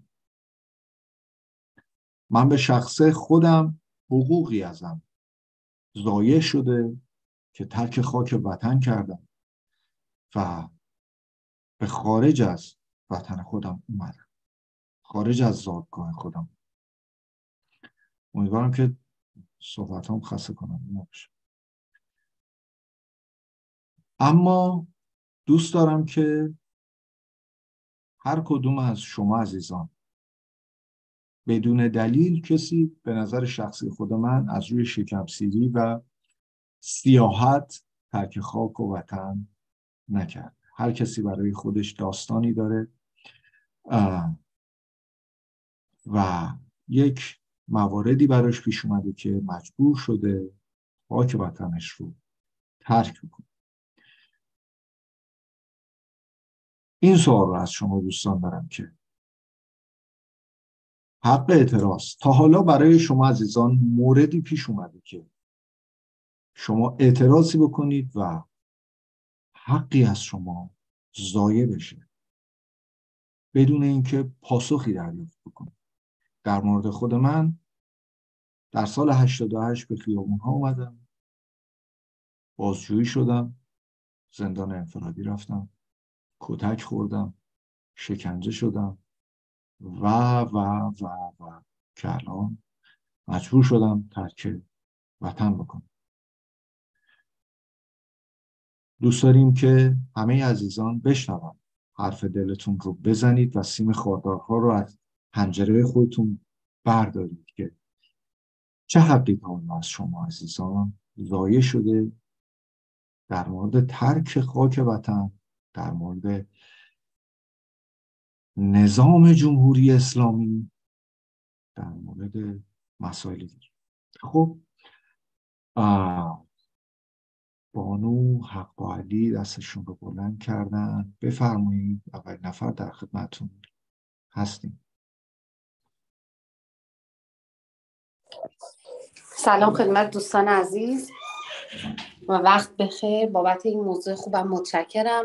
انتخاب خیلی بجایی هست و مرتبط با موضوع این روزهای ایران هست.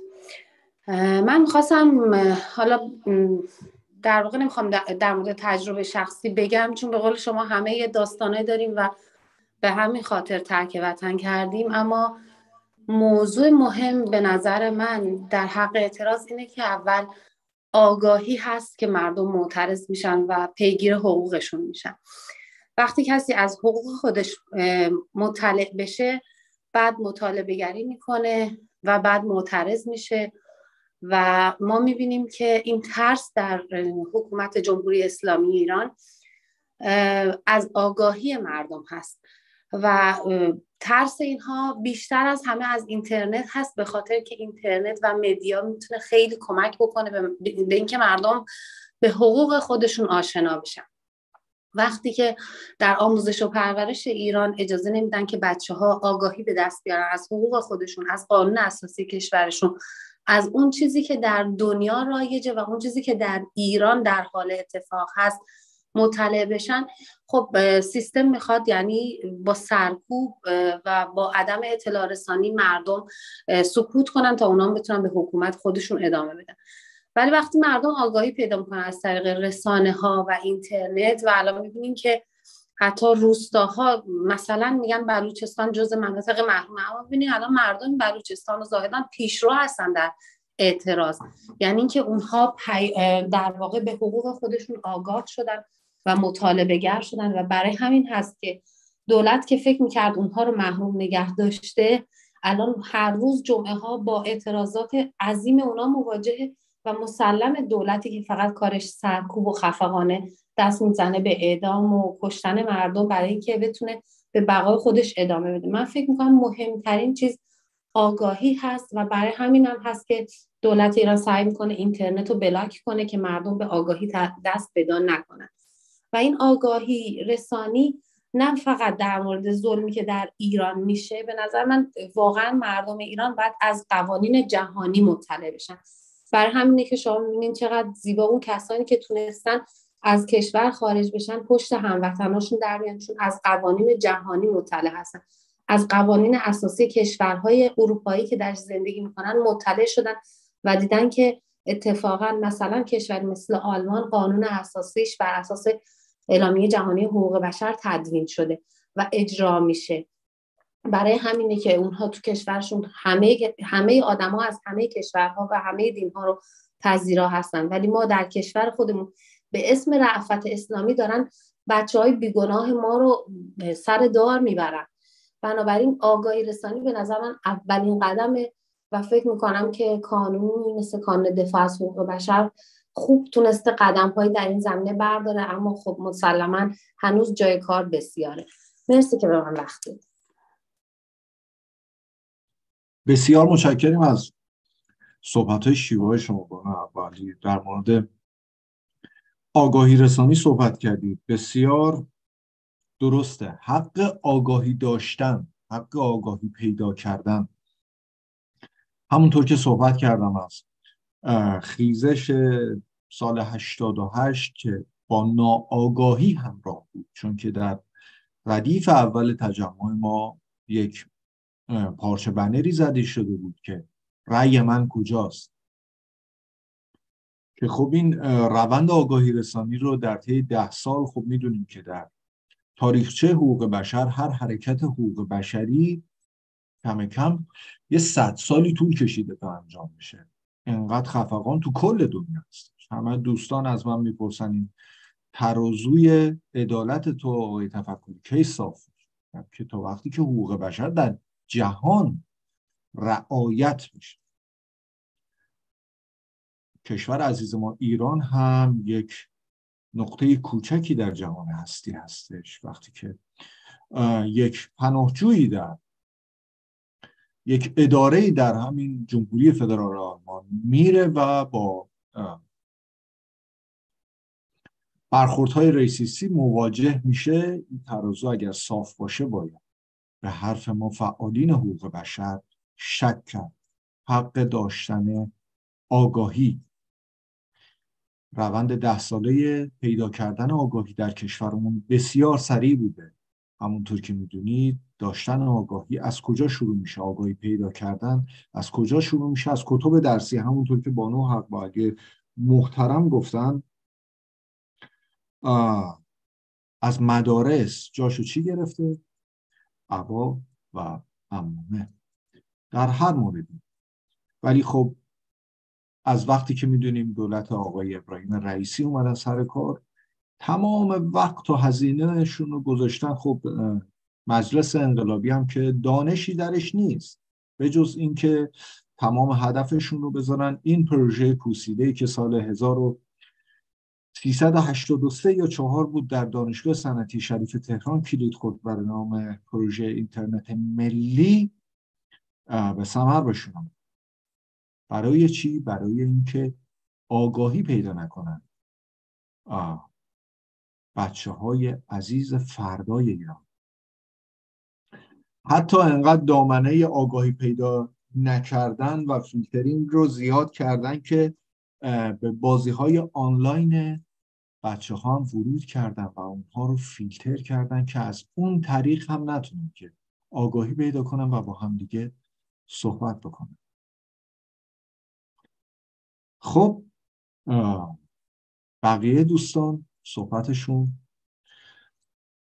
خب نفر اول جناب آقای محمد حسن حسن زاده بفرمایید در خدمتتون در حال سه دقیقه هستیم.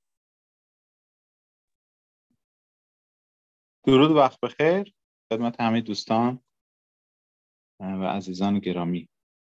در مورد مبحث حق اعتراض و این موضوع که حق آگاهی مردم بسیار مهم هست تو این قضیه. خب جامعه ما یه جامعه نمی‌خوام بگم فرهیخته ولی آگاه هست. شما به تاریخچه کشورهای مختلف نگاه کنید. مادامی که جنگ نباشه کسی اعتراض آنچنانی نداره. اما توی ایران توی 100 150 سال گذشته دو سه بار این انقلاب ها شکل گرفته. من نمیگم تاثیر تبلیغات تاثیر نمی‌دونم گرایش های سیاسی و مذهبی نبوده ولی به هر حال این تاریخچه اعتراض توی ایران بیشتر از جوامع دیگه بوده. چیزی که خونده شده دیده شده. همین اعلامیه جهانی حقوق بشر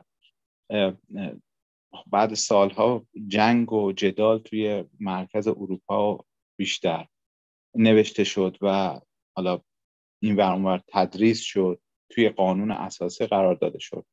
ولی توی ایران خب سال 1948 تا سال 1979 که انقلاب اتفاق بیفته ببینید حدود سی سال سی و یک سال بیشتر طول کشید. اما توی این سی و یک سال ما توی قوانین اساسی ایران هم نداشتیمش. توی تدریس آموزشگاه و آموزش پرورشمون نداشتیم. این یه ضعف بزرگ و یک علامت سوال بزرگ برای شخص آقای پهلوی که چرا اون زمان این رو ندید و آخر کار که تحت به قول خودش صدای انقلاب رو شنید توی یک مصاحبه از حقوق بشر یاد کرد این خیلی مهمه و برای اینکه ما کودکانمون نوجوانانمون آینده مملکت هم. و یکی از مهمترین چیزها اینه که الان ما نگاه نکنیم به اینکه مردم آگاه شدن یا ریختن کف خیابون بله این نتیجه فشار 43 ساله ظلم و ستم جمهوری اسلامی و دولت مردانشونه ولی من فکر می‌کنم هنوز جا داره که این نسل جوان این نسل پر انرژی رو بیشتر آگاه کرد. من جمله آگاهی فقط برای گذار از جمهوری اسلامی نباید باشه. آگاهی برای این باید باشه که شما اگر گزینه ای در اختیارتون قرار بگیره گزینه بهتر و درست رو انتخاب کنید. ما الان متاسفانه جنبش مردم ایران جنبش محسا امینی عزیز نیکا و دیگر عزیزانی که جونشون از دست دادن داره به سمتی میره که دوباره فقط یک گزینه وجود داره. و این موزل جنبشه و نقطه مرکزی اگر برای این جنبش تعریف بشه یعنی فنای جنبش. من درخواست می‌کنم از دوستان که فعالن توی این حوزه توی حوزه حقوق بشر حتما در این مورد صحبت کنن با دوستانشون با اطرافیانشون که این آگاهی رسانی بشه. آقا جمهوری اسلامی امسال نه سال دیگه این ماه نه ماه دیگه میره حتما میره. ولی اون مهم اینه که ما چه چیزی رو امضا کنیم و تایید کنیم برای آینده بچه های خودمون توی ایران. من فکر می‌کنم که این حق ماست و از گذار جمهوری اسلامی خیلی مهمتره. البته برای شخص من و تو این زمینه هم دارم تلاش هم می‌کنم. مرسی آقای تفکری که بودن بسیار متشکریم از صحبت های خوب شما جناب. حسنزاده محترم. بله بسیار شیوا صحبت کردن شما. همونطور که در جمع چندین نفره ما من بارها خواهش کردم که صحبت بکنیم. نظرمون رو بگیریم سیم خاردارا رو از هنجرمون برداریم. صد درصد در جمع تقریبا 100 میلیونی ایرانیان در سراسر دنیا هم این باید بازگو بشه. باید بارها توسط ما فعالین حقوق بشر گفته بشه که آقا حرفتون رو بزنید نظرتون رو بگید مخالفت نکنید. در موقعیتی از زمان هستیم. مخالفت الان نباید یک کلمه اتحاد اتحاد اتحاد تا ایجاد دموکراسی تا ایجاد رفراندوم. اما باید حرف زد. مثال تو این جمع آقای عربی محترم میشن یک گزینه.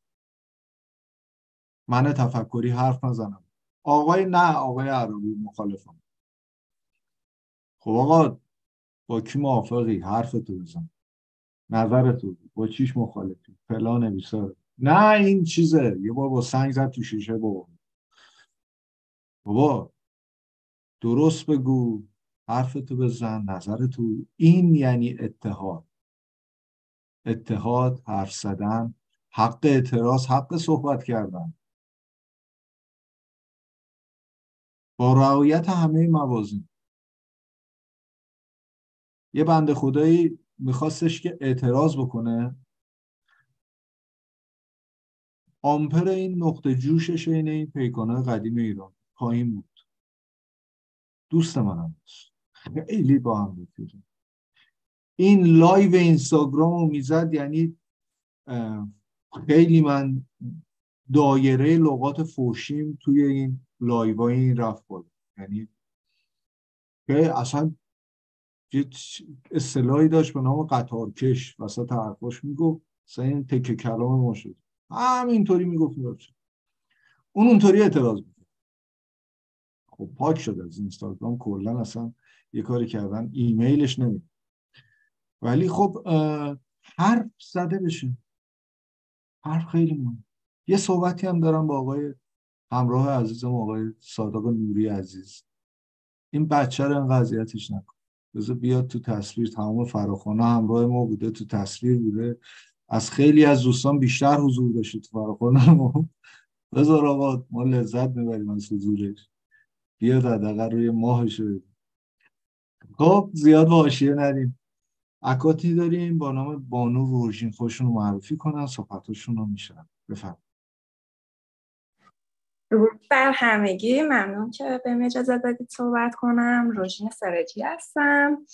درباره این آگاهی اولیه این خیزش می‌خواستم یه کوتاه بگم. از جایی که الان همگی دیگه مثلا می‌دونیم این خیزش و اسمشو گذاشته خیزش زنان یا دهه هشتادی ها. توی این همینطور که الان یه خانومی الان صحبت کردن دوستمون درباره آموزش و پرورش صحبت کردن.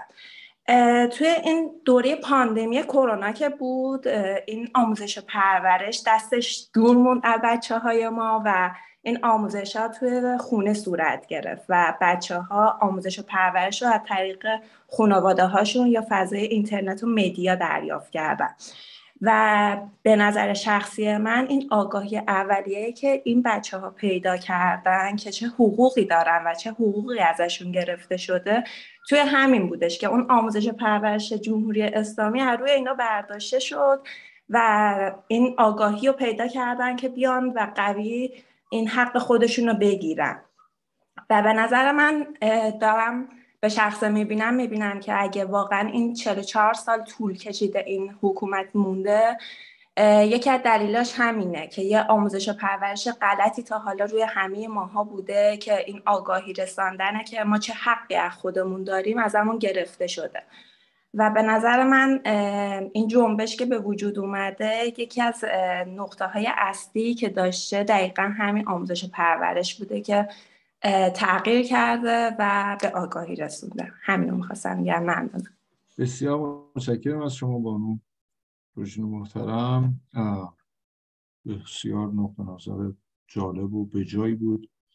اما در یکی دوتا فراخان قلب بود. من به عنوان یک نظر دهنده اومدم اعتراض کردم به اینکه چرا چندین ماه پیش وقتی وقتی کرونا بود و به قول بانو روژین مدرسه آنلاین بوده اینا. اهالی آموزش و پرورش هفته چند بار می اومدن تو خیابون طرح نمی‌دونم چی رو محکوم می‌کردن حقوق کمه این کم.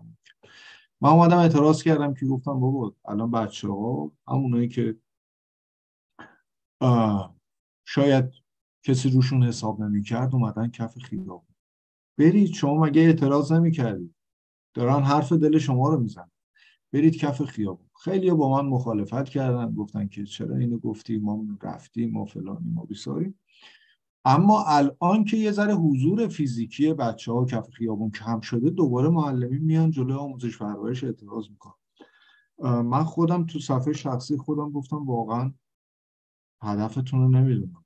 با اون بچه ها نیومدی یه سریشون تارمار شدن. برخورد شد باشون اتحاد پیدا. الان دوباره میگه میگه حقوق من کم شده. یه ذره دو تا چهار تا بکنیم بسیار متشکرم از بانو روشین بازم. جناب آقای منفرد عزیز بفرم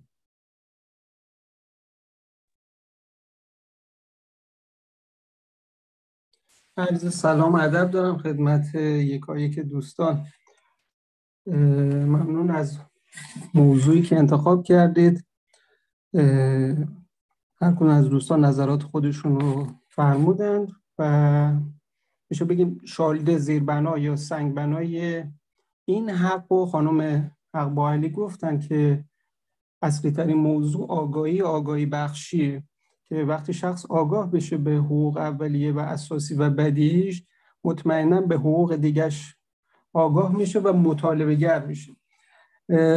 به نظر بنده در پیش نیازهای بعدی که بخوایم نگاه کنیم اگر چیدمان مواد اعلامیه جهانی حقوق بشر رو نگاه کنیم ما به ماده 20 که می‌رسیم میشه حق آزادی تجمع و تظاهرات. یعنی یک پیش نیازهایی از ماده یک تا 19 هست تا بعد ما برسیم به این. وقتی نگاه می‌کنیم حق همه آزاد و برابرن تو ماده یک یا مواد 18 حق آزادی عقیده. ماده 19 حق آزادی بیان. همه این حقوق وقتی که ضایع بشه یا خدشه بهش وارد بشه و شخص آگاه بشه به این که من این حقوق دارم و باید و مسلما مطالبه گر باشم می‌رسیم به این حق آزادی تجمع و تظاهرات که در ماده بعدی به حق دموکراسی می‌رسه. من حقوقم رو مطالبه کردم. حتی اعتراضات به صورت مسالمت آمیز یا به هر شکل دیگه ای که امکان پذیر باشه برای من انجام دادن در نهایت به حق دموکراسی که یک حق کاملا بدیهی هست می‌رسیم. این از نظر بنده است که چیدمانش من فکر می‌کنم این چیدمان رو در نظر گرفتن که در نهایت برسن به حق دموکراسی تا قبلیاش همه مرتفع بشه و بعد به این برسیم. یه موضوع شما فرمودید که وحدت وحدت اتفاق بیفته. من باید ارز کنم با احترام که برای شما قائلم وحدتی که بخواد اتفاق بیفته بتونه در نظر گرفتن تفاوت ها به نظر من محکوم به شکست و محکوم به انقلاب 57 چرا؟ چون خمینی وقتی اومد گفت در هر صورت شاه باید بره. بدون در نظر گرفتن افکار دیگه از جبهه ملی از دیگر روشنفکرا گفت الا و بلا باید این حکومت بره. در صورتی که می‌تواند می‌توانست حکومت شاه ما نمیگیم بهشت بری نمیگیم آری از هر گونه اشکال. ما میگیم اشکالات خاص خودش رو داشت. ولی بیشک اگر این انقلاب با اون سیر روان پیش می‌رفت ممکن بود خیلی نتیجه بهتری بگیریم تا اینکه یک دندگی خمینی اتفاق بیفته تا اینکه یک حزب ماندگار بشه و حزب جمهوری اسلامی و همه کنار زده بشن. به نظر بنده میگم من همه دوستان رو قبول دارم به همه احترام می‌ذارم چه سلطنت طلب چه اونی که سلطنت رو دوست نداره همه قابل احترامن. ولی در نظر نگرفت در نظر نگرفتن دیگر نظرها مطمئنا ایجاد کننده یک دیکتاتوریه. ممنون از شما که به من وقت دادید. سلامت باشید جناب مفرد محترم. من از حق صحبت خودم استفاده کنم و بگم که وقتی که ما میگیم وحدت به قول آقای خمینی وحدت کلمه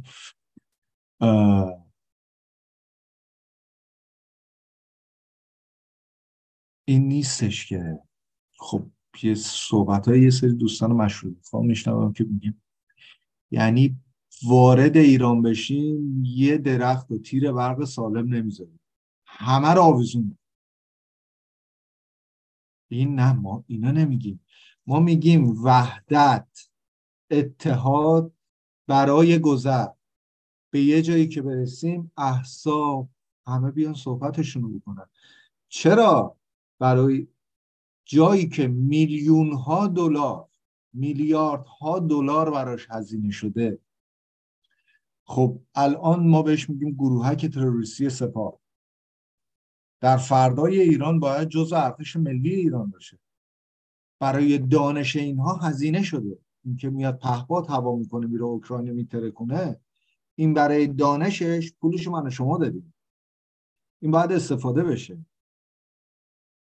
این بسیجی هم حزب خودش رو داره اون مشروط هم حزب خودش رو داره اون کموله هم حزب خودش رو داره اون حزب ترک آذربایجان هم حزب خودش رو خراسانی مازنی سمنانی بلوچ زاهدان عرب زبان. همه لور کرد فارس. همه همه با هم.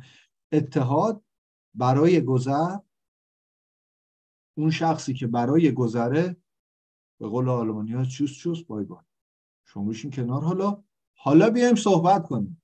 احزاب بیان. مجلس تشکیل بشه. رفراندوم بشه. حکومت توسط مردم. و بعد عین همین آلمان فدرال که هر چهار سال یه حزبی میاد یه کاری می‌کنه. نه اینکه حالا هر کی میادش. مثلا چهار سال بعد حزب مثلا بسیجی ها اومد بالا. نه دیگه. چهار سال همه باید چادر سرشون.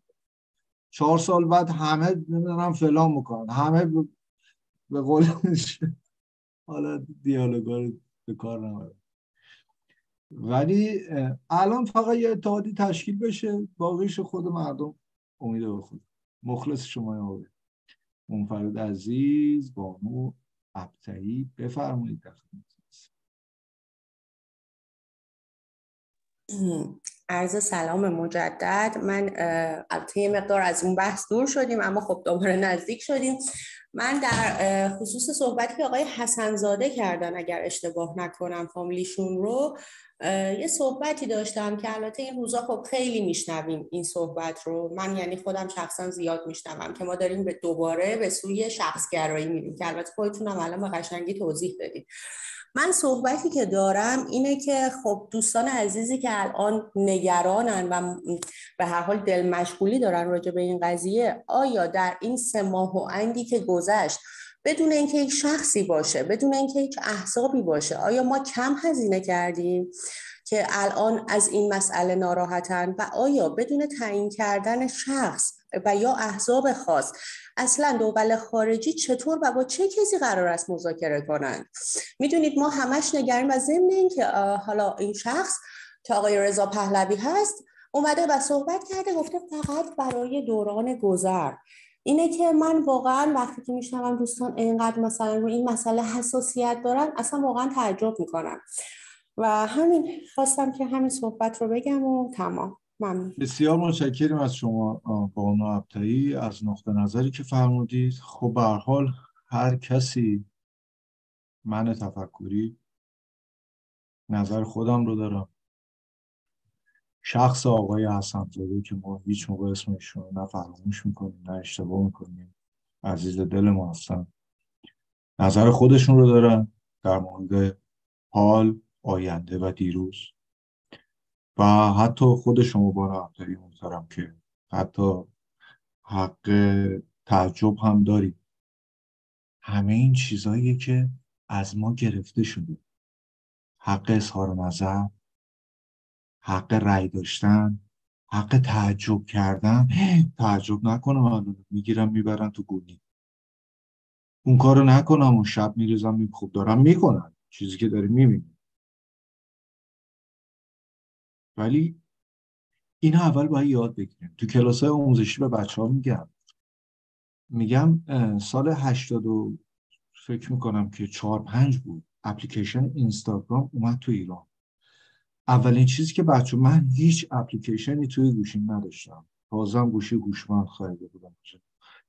گفتم بیا این نمی‌دونی این فلشه رو بزن برو یه پیام بده هیچ کس هم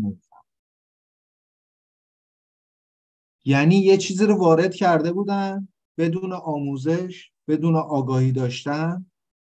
آخرش هم شد این. راجبش صحبت نشده بود فقط استفاده شده بود.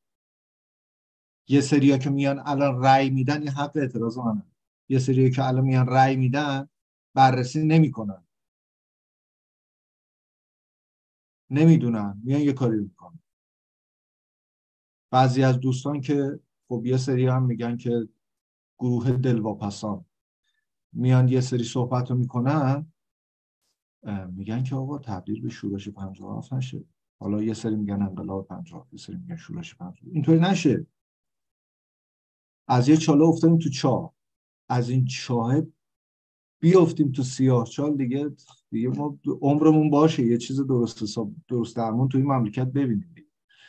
چون که هر خاندانی هم که میاد هر نظری هم که میاد دیگه 40 تا 50 سال و اینجا هست. مرسوم شده. به خاطر همین خیلی خوبه. خیلی قشنگه. همه نظرشون میده حق اعتراض حق حرف زدن حق تعجب کرد بسیار عالیه. از همینجا باید پایه گذاری بشه. همینطور که از سال 88 تا 98 ده سال طول کشید انقدر انجیوهای حقوق بشری صحبت کردن آگاهی رسانی کردن که رأی من کجاست؟ تبدیل شد به سال 98 گفتن حق من کجاست؟ رسیدن به جای درست. که بدونن حق چیه؟ رفتن تحقیق کردن آگاهی پیدا کردن. این واقعا افسوسه که در طی این چند سالی که در کمیته آموزش کانون دفاع از حقوق بشر در ایران من یکی از مدرسین هستم تا حالا دو نفر قانون اساسی رو خونده بودن. البته جفتشون هم وکیل بودن کارشون. اگه نه هم نخوندن. این بد نیست این افتضاحه. جناب آقای فرجی من دیگه بیشتر از این اصابان داغو نکنم. شما سلام مجدد خدمت همه دوستان. همه عزیزان در مورد آگاهی صحبت کردن ولی به نظر, به نظر من به شخص آگاهی تنها کافی نیست. و الان شما صحبت کردید خود حرفایی که ما خیلی هم هستیم که مثلا معلم ها چرا الان الان اومدن دیگه خب معلم ها قبلش هم آگاهی داشتن. ولی به نظر من ما اکثریت همون دچار تعصب شدیم. فکر کنیم اون چیزی که ما نسبت بهش آگاهی داریم کامل ترینه و خیلی هم محکم روش وای میستیم و با بقیه درگیر میشیم. و دومین چیزی که وجود داره منفعت طلبیه. ماها تا موقع یه شرایطی جمهوری اسلامی ماها رو تربیت کرده حالا خودم مثال می‌زنم یا خود بقیه جسارت که اولین چیزی که به ذهنم می‌رسه منفعت طلبی خودم. دارم معلم میگه که خب من که دارم زندگیمو می‌کنم یه حقوقی می‌گیرم بیکارم دارم خیابون. پزشک دقیقا میاد همینو میگه و شرایط به همین شکل پیش میره ما اگر می‌تونستیم کنار این آگاهی آگاهی به دست بیاریم و به جاش تعصب و منفعت طلبی از خودمون بیرون کنیم شاید سال 98 جواب می‌گیریم به نظر من این بزرگترین مانع است. و تا موقعی که این مانع باشه نه مردم ما با هم یکی میشن نه با هم هم نظر میشن. و باز هم به خاطر منفعت طلب هر کی یه سمت و یه گرایش و یه حزبی رو نظر من هم ممنونم که بسیار متشکرم از شما جناب فرجی عزیز. کاملا درست میفهم خود شخص بنده page اینستاگرامی شخص بنده یه هفته یا دستش خارج شده. به خاطر اینکه سه پست آخرم اومدم زدم هشتگ ایساکو ایران خودرو سایپا اومدم همین تلنگر رو زدم بهشون. گفتم شمایی که دارید میرید کار می‌کنید. دوستان خیلی نزدیک من دارن اونجا کار می‌کنن. وقتی می‌زنم صد درصد پیامن رو توی اینستاگرام اونجا می‌بینن. تا شما که دارید اونجا کار می‌کنید. بالاخره شما میاد کف خط فقر ولی شاید اون موقع دیر شده باشه. اما یه چیزی رو بگم. نظر شخصی من این که یه حقی هست تو کل دنیا. خیلی از ملت های دیگه مردم کشورهای دیگه شاید ندونن و ازش استفاده نکنن. ولی ما ایرانی ها تو سر سر دنیا به موقعی که میایم تو با خیلی ازش استفاده می‌کنن به نظر شخصی من اون حق مهندسی هستش. و هر کاری مهندسی می‌کنیم. نظرمون نمیکیم و از هر کاری فکر می‌کنیم بلدیم. و این بزرگترین ایراد ما هستش خیلی کارا رو به خیلی ها نمیسپریم چون که عادت کردیم. وقتی که مسئول پتروشیمی یک کشور رو یه خبرنگار میاد ازش راجع به یه پروژه عظیم پتروشیمی صحبت می‌کنه. بعد اون مسئول پتروشیمی اومد گفتش که وقتی که ابرعه به کعبه حمله کرد آقا چی داری میگی؟ بزرگترین پروژه پتروشیمی ایران داریم راجع به صحبت می‌کنیم. ابر ابابیل چی داری میگی؟ بابا قیمه ها رو نریز تو مستا باز عصبی شدم آقای حسن شد خسته نباشین آقای تفکر. چیزی که مهم هست دوستان تو بحث آگاهی همین جمع خودمون چند نفر 21 نفر اگر کسی تاریخ رو نخونه این رکب تاریخی همیشه تکرار میشه. خواهش می‌کنم تاریخ 200 ساله گذشته خاور میانه رو بخونید. یه شخصی بود به نام محمد ظاهر شاه که یه پادشاهی رو توی افغانستان درست کرد پیش رفت. تا یه مدتی بعد حتی نخست وزیرم داشت پسر اموش فکر می‌کنم. حالا دقیق یادم نیست. پسر اموش پس پسر برادرش بود نمی‌دونم. ولی نخست وزیرش بود. ایشون برای درمان محمد ظاهرشاه رفت ایتالیا.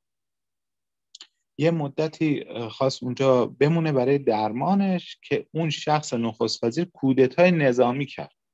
و حدود چندین سال سلطنت حالا اجدادی یا فلان افغانستان رو باطل کرد. شروع کرد یک دولتی تشکیل داد. خب خفقان ایجاد شد چون دیکتاتوری محض وجود داشت فلان.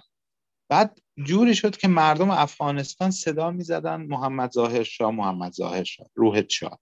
یه همچی چیزایی. جوری شد که خود مردم خواستن که محمد ظاهر شاه برگرد. محمد ظاهر شاه برگشت. نتیجهش امروزه.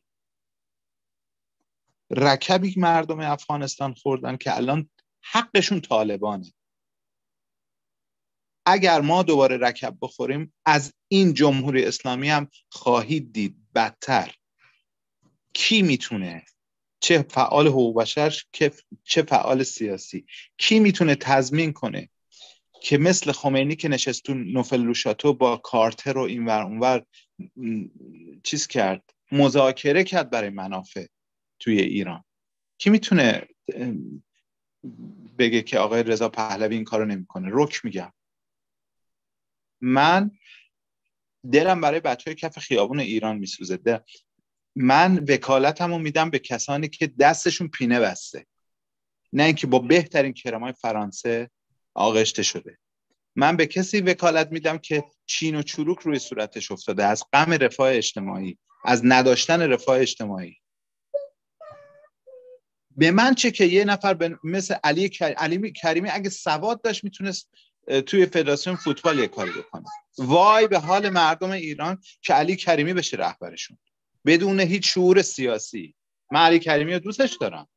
800 تا کودک رو تو ایران حمایت می‌کرد. من یکی از طرفدارای علی کریمی هم.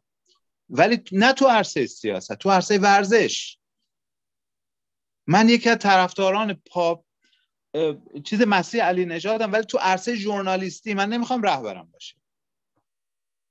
برای چی من بیام وکالت بدم به یک سیستمی که می‌دونم توافق بلوک شرق و غرب رو همراه داره.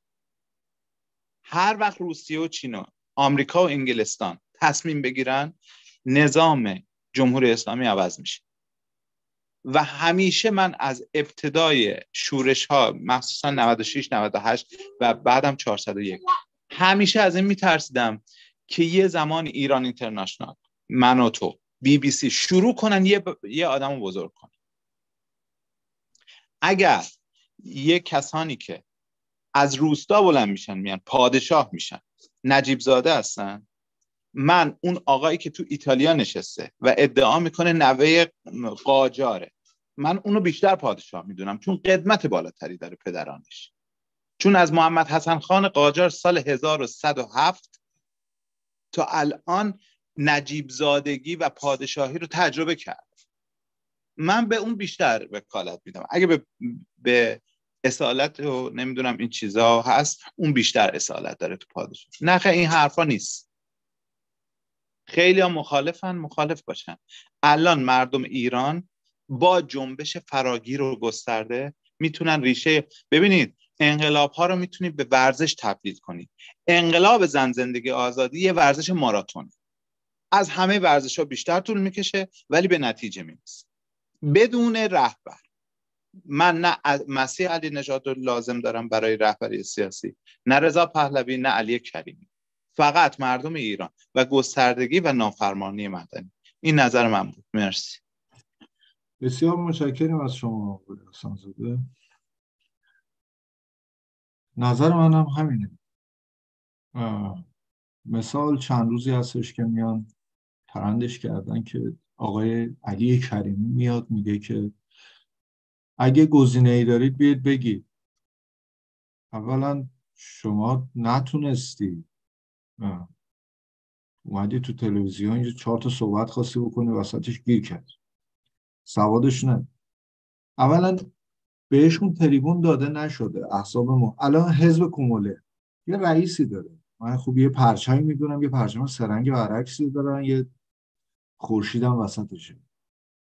ما این رئیسشون حزبش و رئیس حزبشون رو حرفاشو نشین کارو بهش تریبون داده نمیشه. حزب آذربایجان داریم.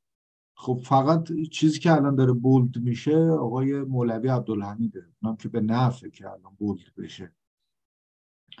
تصمیم گرفته شده که bold بشه. یه عزیزی رو داریم حالا چون اینجا نیست تو آلمان شاید تو اینستاگرام همه بشناسن. نه خبرنگار نیست کسی که فکر می‌کنید نیست. کارش چیز دیگه است تو page اینستاگرامیش خیلی هم follower زیاد داره. یه دفعه اومد زد رأی من علی کریمی. تو چی داری میگی بابا؟ چی داری میگی؟ تو عین همون کسی هستی که از پادگان اشرت سال 57 جسه برداشته بود تو خیابون وایساده بود ما اسلام رو پیروز کردیم ما فلان. تو همونی تو این همونی دیگه. داری الان یه چیزی علی کریمی چیه؟ حمید فرخ نژاد چیه؟ علی کریمی چیه؟ نمی‌دونم. مسیح علی نژاد به قول آقای حسن هر کدوم در رشته خودشون. شاید یه کسی این علی دایی توانایی وزارت ورزش رو داشته باشه. شاید علی کریمی پس فردا که چهار نفر دیگه بیان یه هیئت محلی فوتبال رو بتونه اداره بکنه. ما دانش های بسیار در سطح ورزش داریم. یه عزیزی به من گفت آینده ایرانی کی می‌خواد اداره کنه؟ گفتم بند 209 اوین. اقتصاددان داریم سیاست مدار توش همه چی توش داریم. نویسنده داریم کارگر داریم بدبخت داریم بیچاره. همه چی توش داریم. تو بند 209 اوین. اینا بیان بیرون می‌تونن یه کشور اداره بکنن. ولی به احسان باید تریب... الان تریبون نمیدن.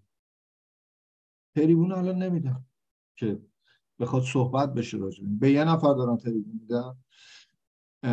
توییتر رو توییتر هم دیدن که یه سری اکانتینا رو میبنده.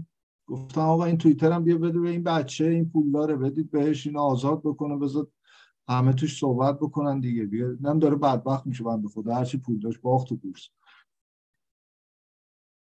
داره هر کی هرچی می علی کریمی می اون سه چهار نفر اینجا بولد شدن. یه نفر میاد میگه بریزید تو خیابون من صدفان نمی‌دونم سروان نمی‌دونم چی چی هم بیاید فلان بکن. بابا تو نیرو انتظامی دیگه عکس تو گذاشتی یه چهار روز پیش تو خود همه رو می‌زدی. حالا باز چی بیام به حرف تو چیز بکن؟ بچه ها کف خیابون. به قول آقای حسنزاده دهه هشتاد. یه اتحاد صورت بگیره یه شب کار به جمهوری ولی با فکر. این تو این نقطه باز من در چند فراخان پیش یه دعایی کردم. گفتم که امید به روزی که ما فعالان حقوق بشر بیکار بشیم. اما برای این روندی که داره صورت می‌گیره ما خیلی کار داریم. به خاطر اینکه آگاه بکنیم مردم. من رأی میدم. من از قول خانواده ده نفره رأی میدم. من از قول خانواده شش نفره. اون یکی گفت من از قول خانواده شش نفره به اضافه دوستم. نه هستش دیگه. می‌بینیم اخبار همه هم می‌بینیم. با اخبار ما داریم زندگی می‌کنیم. به چی؟ به کی؟ به فلان. صبح. برید تحقیق بکنید. یه خواننده ای هستش. اسمش اردلان نمی‌دونم چی چی. تو پیج اینستاگرامش خیلی خوب داره صحبت می‌کنه. راجع به این موضوع. خیلی فوش شنیده. خیلی حرف شنیده ولی خیلی قشنگ داره صحبت می‌کنه. از حق خودش دفاع می‌کنه. میگه دارم تحقیق می‌کنم. اگرم بخوام رأی بدم دارم تحقیق می‌کنم. نه بذار بزنم هشتگ فلان. اصلا به اسم کاری ندارم. و از اول صحبت هم بینید اسم هیچ کس ما نیورد به اسم من کاری ندارم. چه معنی تفکری؟ یک روز تو شهر خودمون اولین تجمع اعتراضی رو با زور یک نفر به نام من با مجوز پلیس صادر کردن رفتیم صحبت کردیم.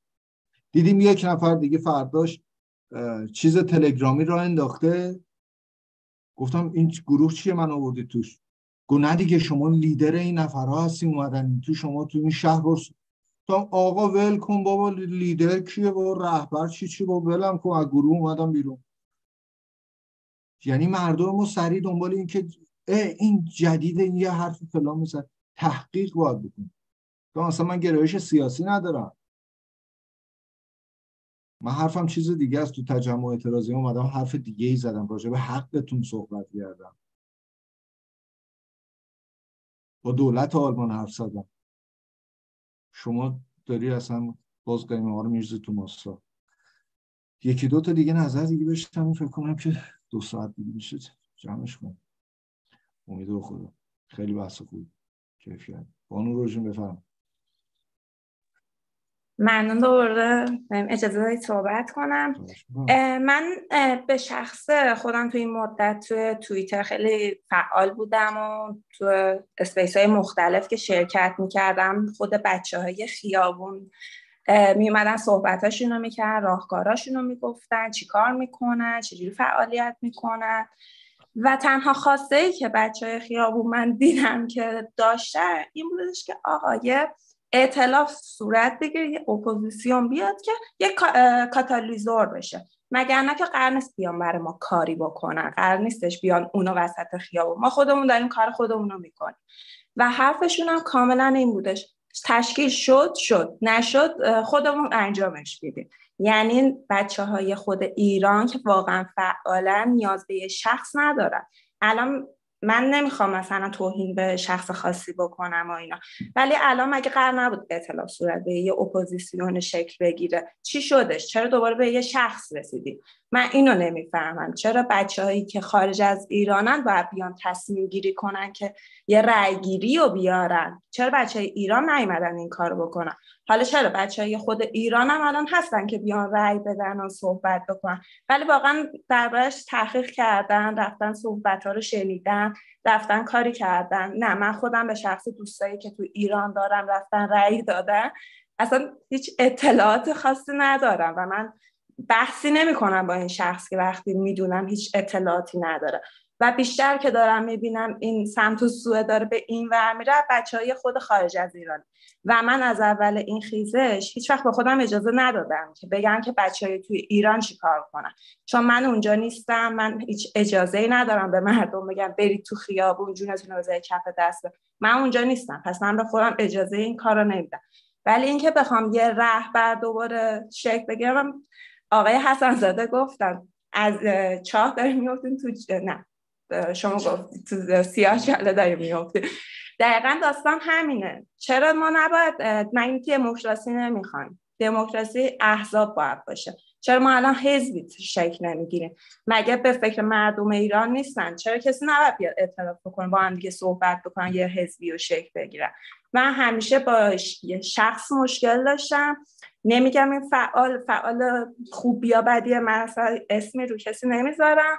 فقط دارم میگم که شخص بودن دوباره به نظرم غلطه. چرا؟ مخصوصا که شخصی که فعال سیاسی هست و تفکرات شخصی خودش رو می‌تونه تو سخنرانیاش بیاره. پس صحبت یه جمعی رو نمیادش بکنه. تفکرات شخصی خودش رو دوباره میاره.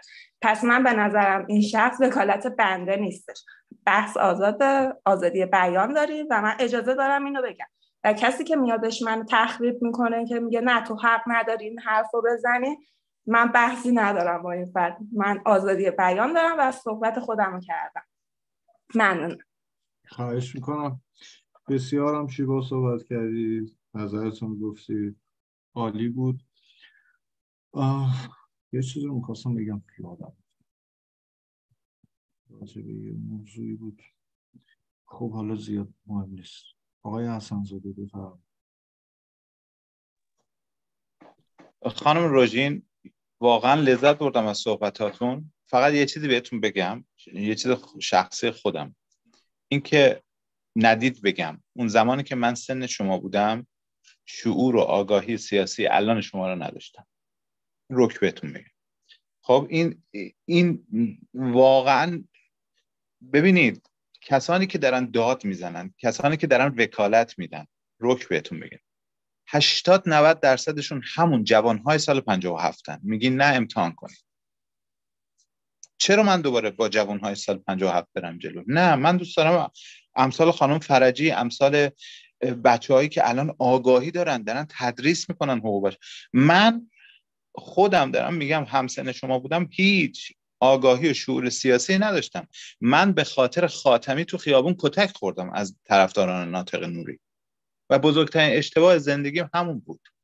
سال 76 من بعد کسی نبود به من بگه بابا اینی هم که داری به خاطرش سنگ به سینه می‌زنی اینم آخونده از تبار اوناست. اینم دستبوس خمینی بوده. اینم اصلا فامیلن اینا همشون با هم فامیلن. انگار شما حساب کن ما ما داریم خودمون رو می‌کشیم برای دو تا باجناق مثلا دارن دعوا می‌کنن سر ریاست جمهوری. آخه دوستان تو همین جمع کانون واقعا کسی نیست که به جای ابراهیم رئیسی بتونه قشنگ حرف بزنه بره رئیس جمهور مملکت بشه. تو همین کانون.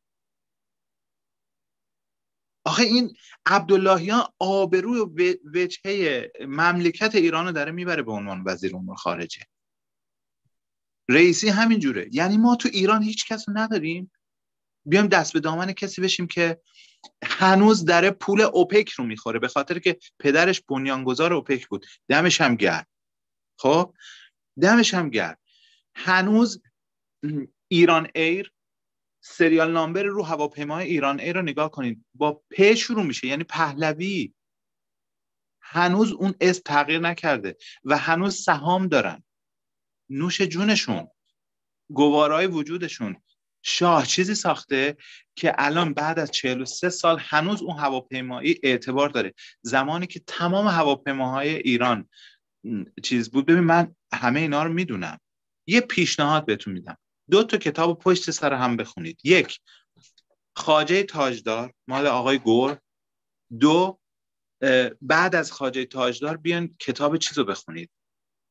تاریخ معاصر ایران مال یرواند آبراهامیان اینقدر. حالا تاج خاجه تاجدار خیلی کتاب قطوریه ولی تاریخ معاصر ایران ایران قشنگ سال به سال گزارش پولی 2900 پوندی شرکت نفت انگلیس و ایران رو داده تا سال 57 که چقدر ایران سهمش بوده از نفت خودش.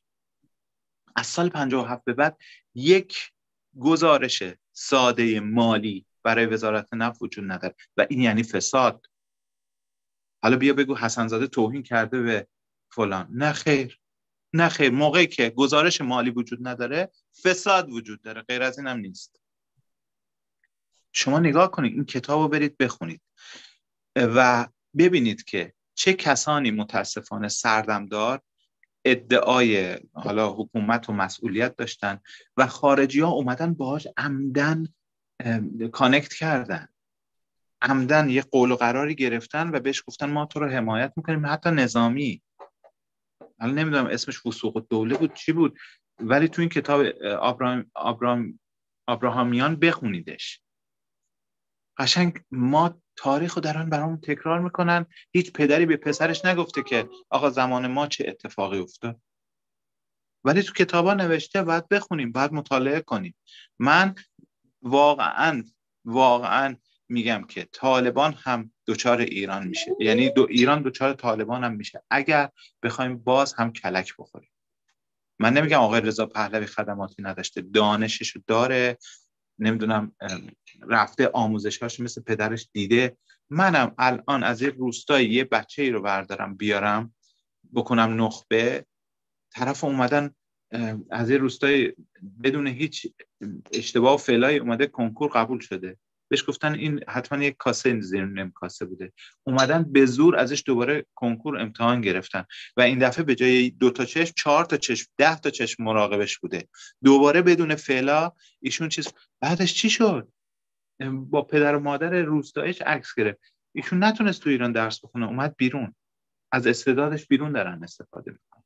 هشت میلیون ایرانی کمی کم بهتون بگم. یک میلیون از این هشت میلیون ایرانی که خارج از ایران در زندگی می‌کنه یک میلیونش راحت می‌تونن دنیا رو رهبری کنن. اینو رک بهتون بگم. از پروفسور خدا بیامرز اون خانم کی بود؟ پروفسور ریاضی بود. یا بله یا خیلی یک ما خیلی از اینا تو ایران داریم ولی شناخته شده نیستن. ما گزینه هامون مثل خانم میرزاخانیه گزینه هامون مثل اون جامعه شناسایی که از دانشگاه ها تو ایران اخراج میشن به خاطر دو تا کلام حق حرف زدن توی شبکه شاه اونا هستن. من برای چی بیام وکالت بدم به یکی که داشته پول اوپکو میخورده داشته پول ایران ای رو میخورده تا حالا. و ارتباطات هم داره که داره. مگه مریم رجوی ارتباطات نداره؟ چه تفاوتی بین مریم رجوی و رضا پهلوی هست؟ مرسی آقا تفکر. متشکرم از شما جناب آقای حسنزاده محترم. راجع به این بحثمون آخرین نظر آقای عباس منفرد عزیز رو نظرشون میشنویم و بریم برای جنبندی بفرمایید جناب منفرد محترم. سلام مجدد خدمت دوستان. بحثا میگن وقتی تفاوت آرا باشه و این آرا بیاد یک جا بشینه بالاخره یه بازخورد و یه نتیجه خوبی ازش حاصل میشه. همه دوستان نظرات شخصی خودشون بر اساس تجربیاتشون بر اساس مطالعاتشون عنوان کرد. ولی چیزی که وجود داره توی کشور ما خود بنده هم نفع شخصی مانع میشه که بتونم اون وظیفه و مسئولیتم نسبت به جامعه رو انجام بدم. هم تعصبات و احساسات منی که مانع میشه اون چیزی که حق هست رو بخوام طالبش باشم. ما اگر بیام نگاه کنیم و آیا سنزاده گفتن دوستان دیگه عنوان کردن بله تاریخ بهترین آموزگار ماست که ما رو می‌تونه تعلیم بده و ما رو به سمت دموکراسی و عدالت خواهی پیش ببره. وقتی ما میایم نگاه می‌کنیم می‌بینیم بله مصدق قبلش همه به به و چهچه بعدش مصدق و چجور باش برخورد کردن؟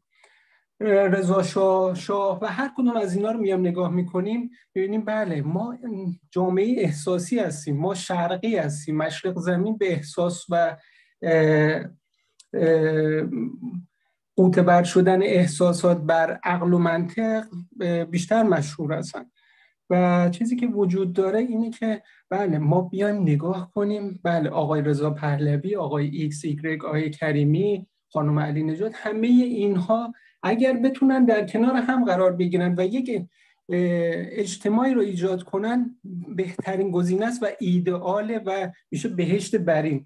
ولی وقتی ما بیایم صرفا به یک نفر مطمئن باشید امروز ما میگیم رضا پهلوی فردا مرد بر رضا پهلوی رو خواهیم گفت. همون جوری که ما می‌گفتیم درود بر خمینی الان مرگ بر خمینی رو داریم میگیم.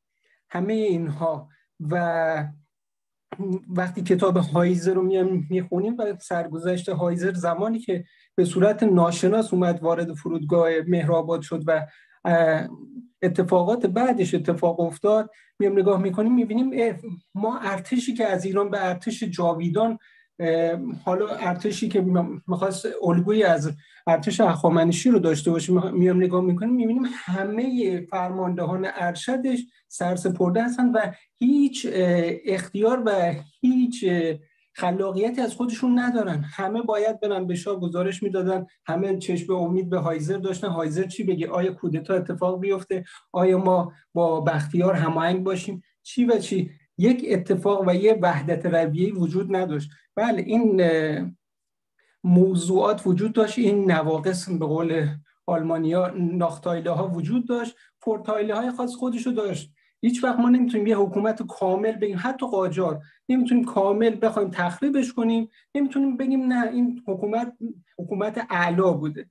پس بهترین گزینه به نظر بنده حقیر شورایی و اجتماعی از تمامی آرا حتی کموله حتی دوستان سیستانی حتی آذربایجان گروه الاهواز همه اینا که دایه جدایی عنوان میشه بینشون و میگن اینا جدایی طلب هستن همه اینا بیشک اگر وجود داشته باشن توی یک اجتماع واحد مطمئنا تنشش کمتر میشه.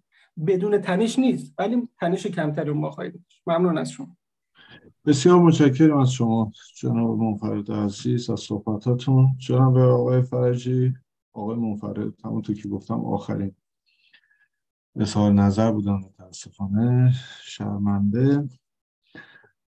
نظر خیلی از هم فکر هستش که حزب های مختلف وجود دارن و رؤسای این حزبا می‌تونن بیان بشنن با هم صحبت بکنن. حالا وسط اون نظرها یک نفر بیاد انتخاب بشه که برو صحبت بکنه اون قشنگتره با که یک نفر باید بشه. یکی دو مورد من نوشتم دوست داشتم که شما بدونید آقای خمینی تو نوفل شاتو خیلی جالبه که به تازگی دولت فرانسه اون تابلوی خونه آقای خمینی تو نوفل شاتو رو یه پرده روشه هنوز برش هم نداشت. گفتن ناراحت کننده است مردم اومدن انقدر نامه دادن و اعتراض کردن ما یه پرده انداختن آقای خمینی موقعی که قانون اساسی رو که براش دولت فرانسه نوشته بود زده بود زیر بغلشون. گفتش که حجاب همونطور که می‌دونید در تاریخ اسلام اصلا حجاب اجباری اول شهید اول نمی‌دونم چندین سال پیش چند سال پیش اومده گفته ابداع کرده و نفر دوم خمینی اومده. که اونم طرحشو آقای حسن روحانی آقای موسوی و خانم زهرا رهنورد همون کسایی که سردم دارای سال 88 بودن اومدن اجرایی کردن اجرا اجباری رو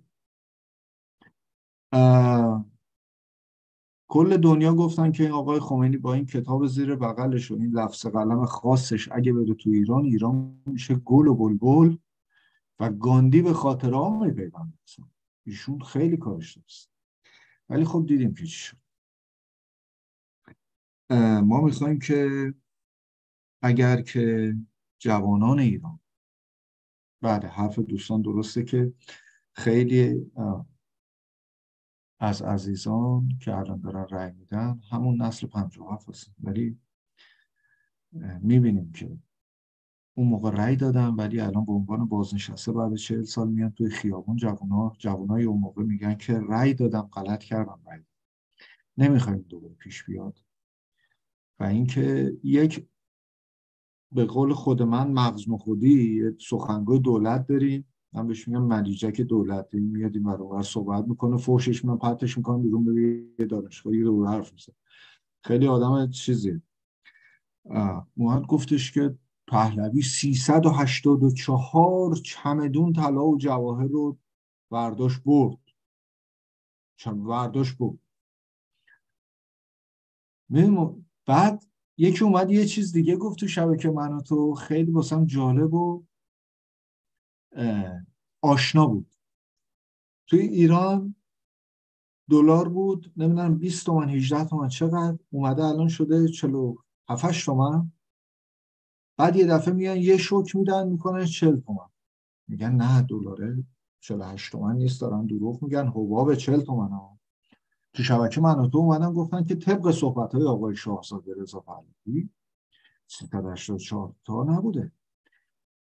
مستندی که فقط 62 میلیون دلار ایشون برده از ایران. 44 سال پیش 62 میلیون دلار. خب پول کی برده؟ باباشم که رضاخان میرپنج بوده. یعنی سلطنت و شاهزاده اینا نبودن. اومدن این کودتایی کردن فلان اینا. یعنی خیلی خوشگل میگن که عین حرفای جمهوری اسلامی 384 تا نبوده دروغه. 62 میلیون بیشتر نبوده. خیالتون راحت باشه. برید رای بدید برید وکالت اینا از این.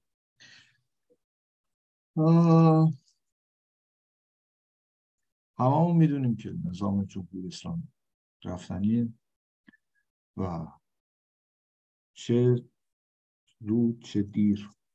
ما خیلی خوشحالم که در جمعی هستیم که فعال سیاسی نیستیم و نمی‌خوایم نظر خودمون رو با میخ فرو کنیم تو مغز کسی و دوست داریم فقط آگاهشون بکنیم که راهشون رو بدونن چیه چش گوش بسته. این کار رو نکنن. و در آخر این که امروز ما در کانون دفاع از حقوق بشر در ایران در قالب نمایندگی منطقه شمال آل گرده هم اومده بودیم. در تاریخ یک شنبه 22 ژانویه در ساعت دوازده ظهر به وقت اروپای مرکزی گرده همایی رو شروع کردیم و پایانش رو در ساعت چهارده و هفته دقیقه به وقت اروپای مرکزی اعلام می‌کنه یک چیز رو می‌دونیم دیکتاتور چه کوچیک چه بزرگ چه خورد چه کلان. هیچ موقع عذرخواهی نمی‌کنه.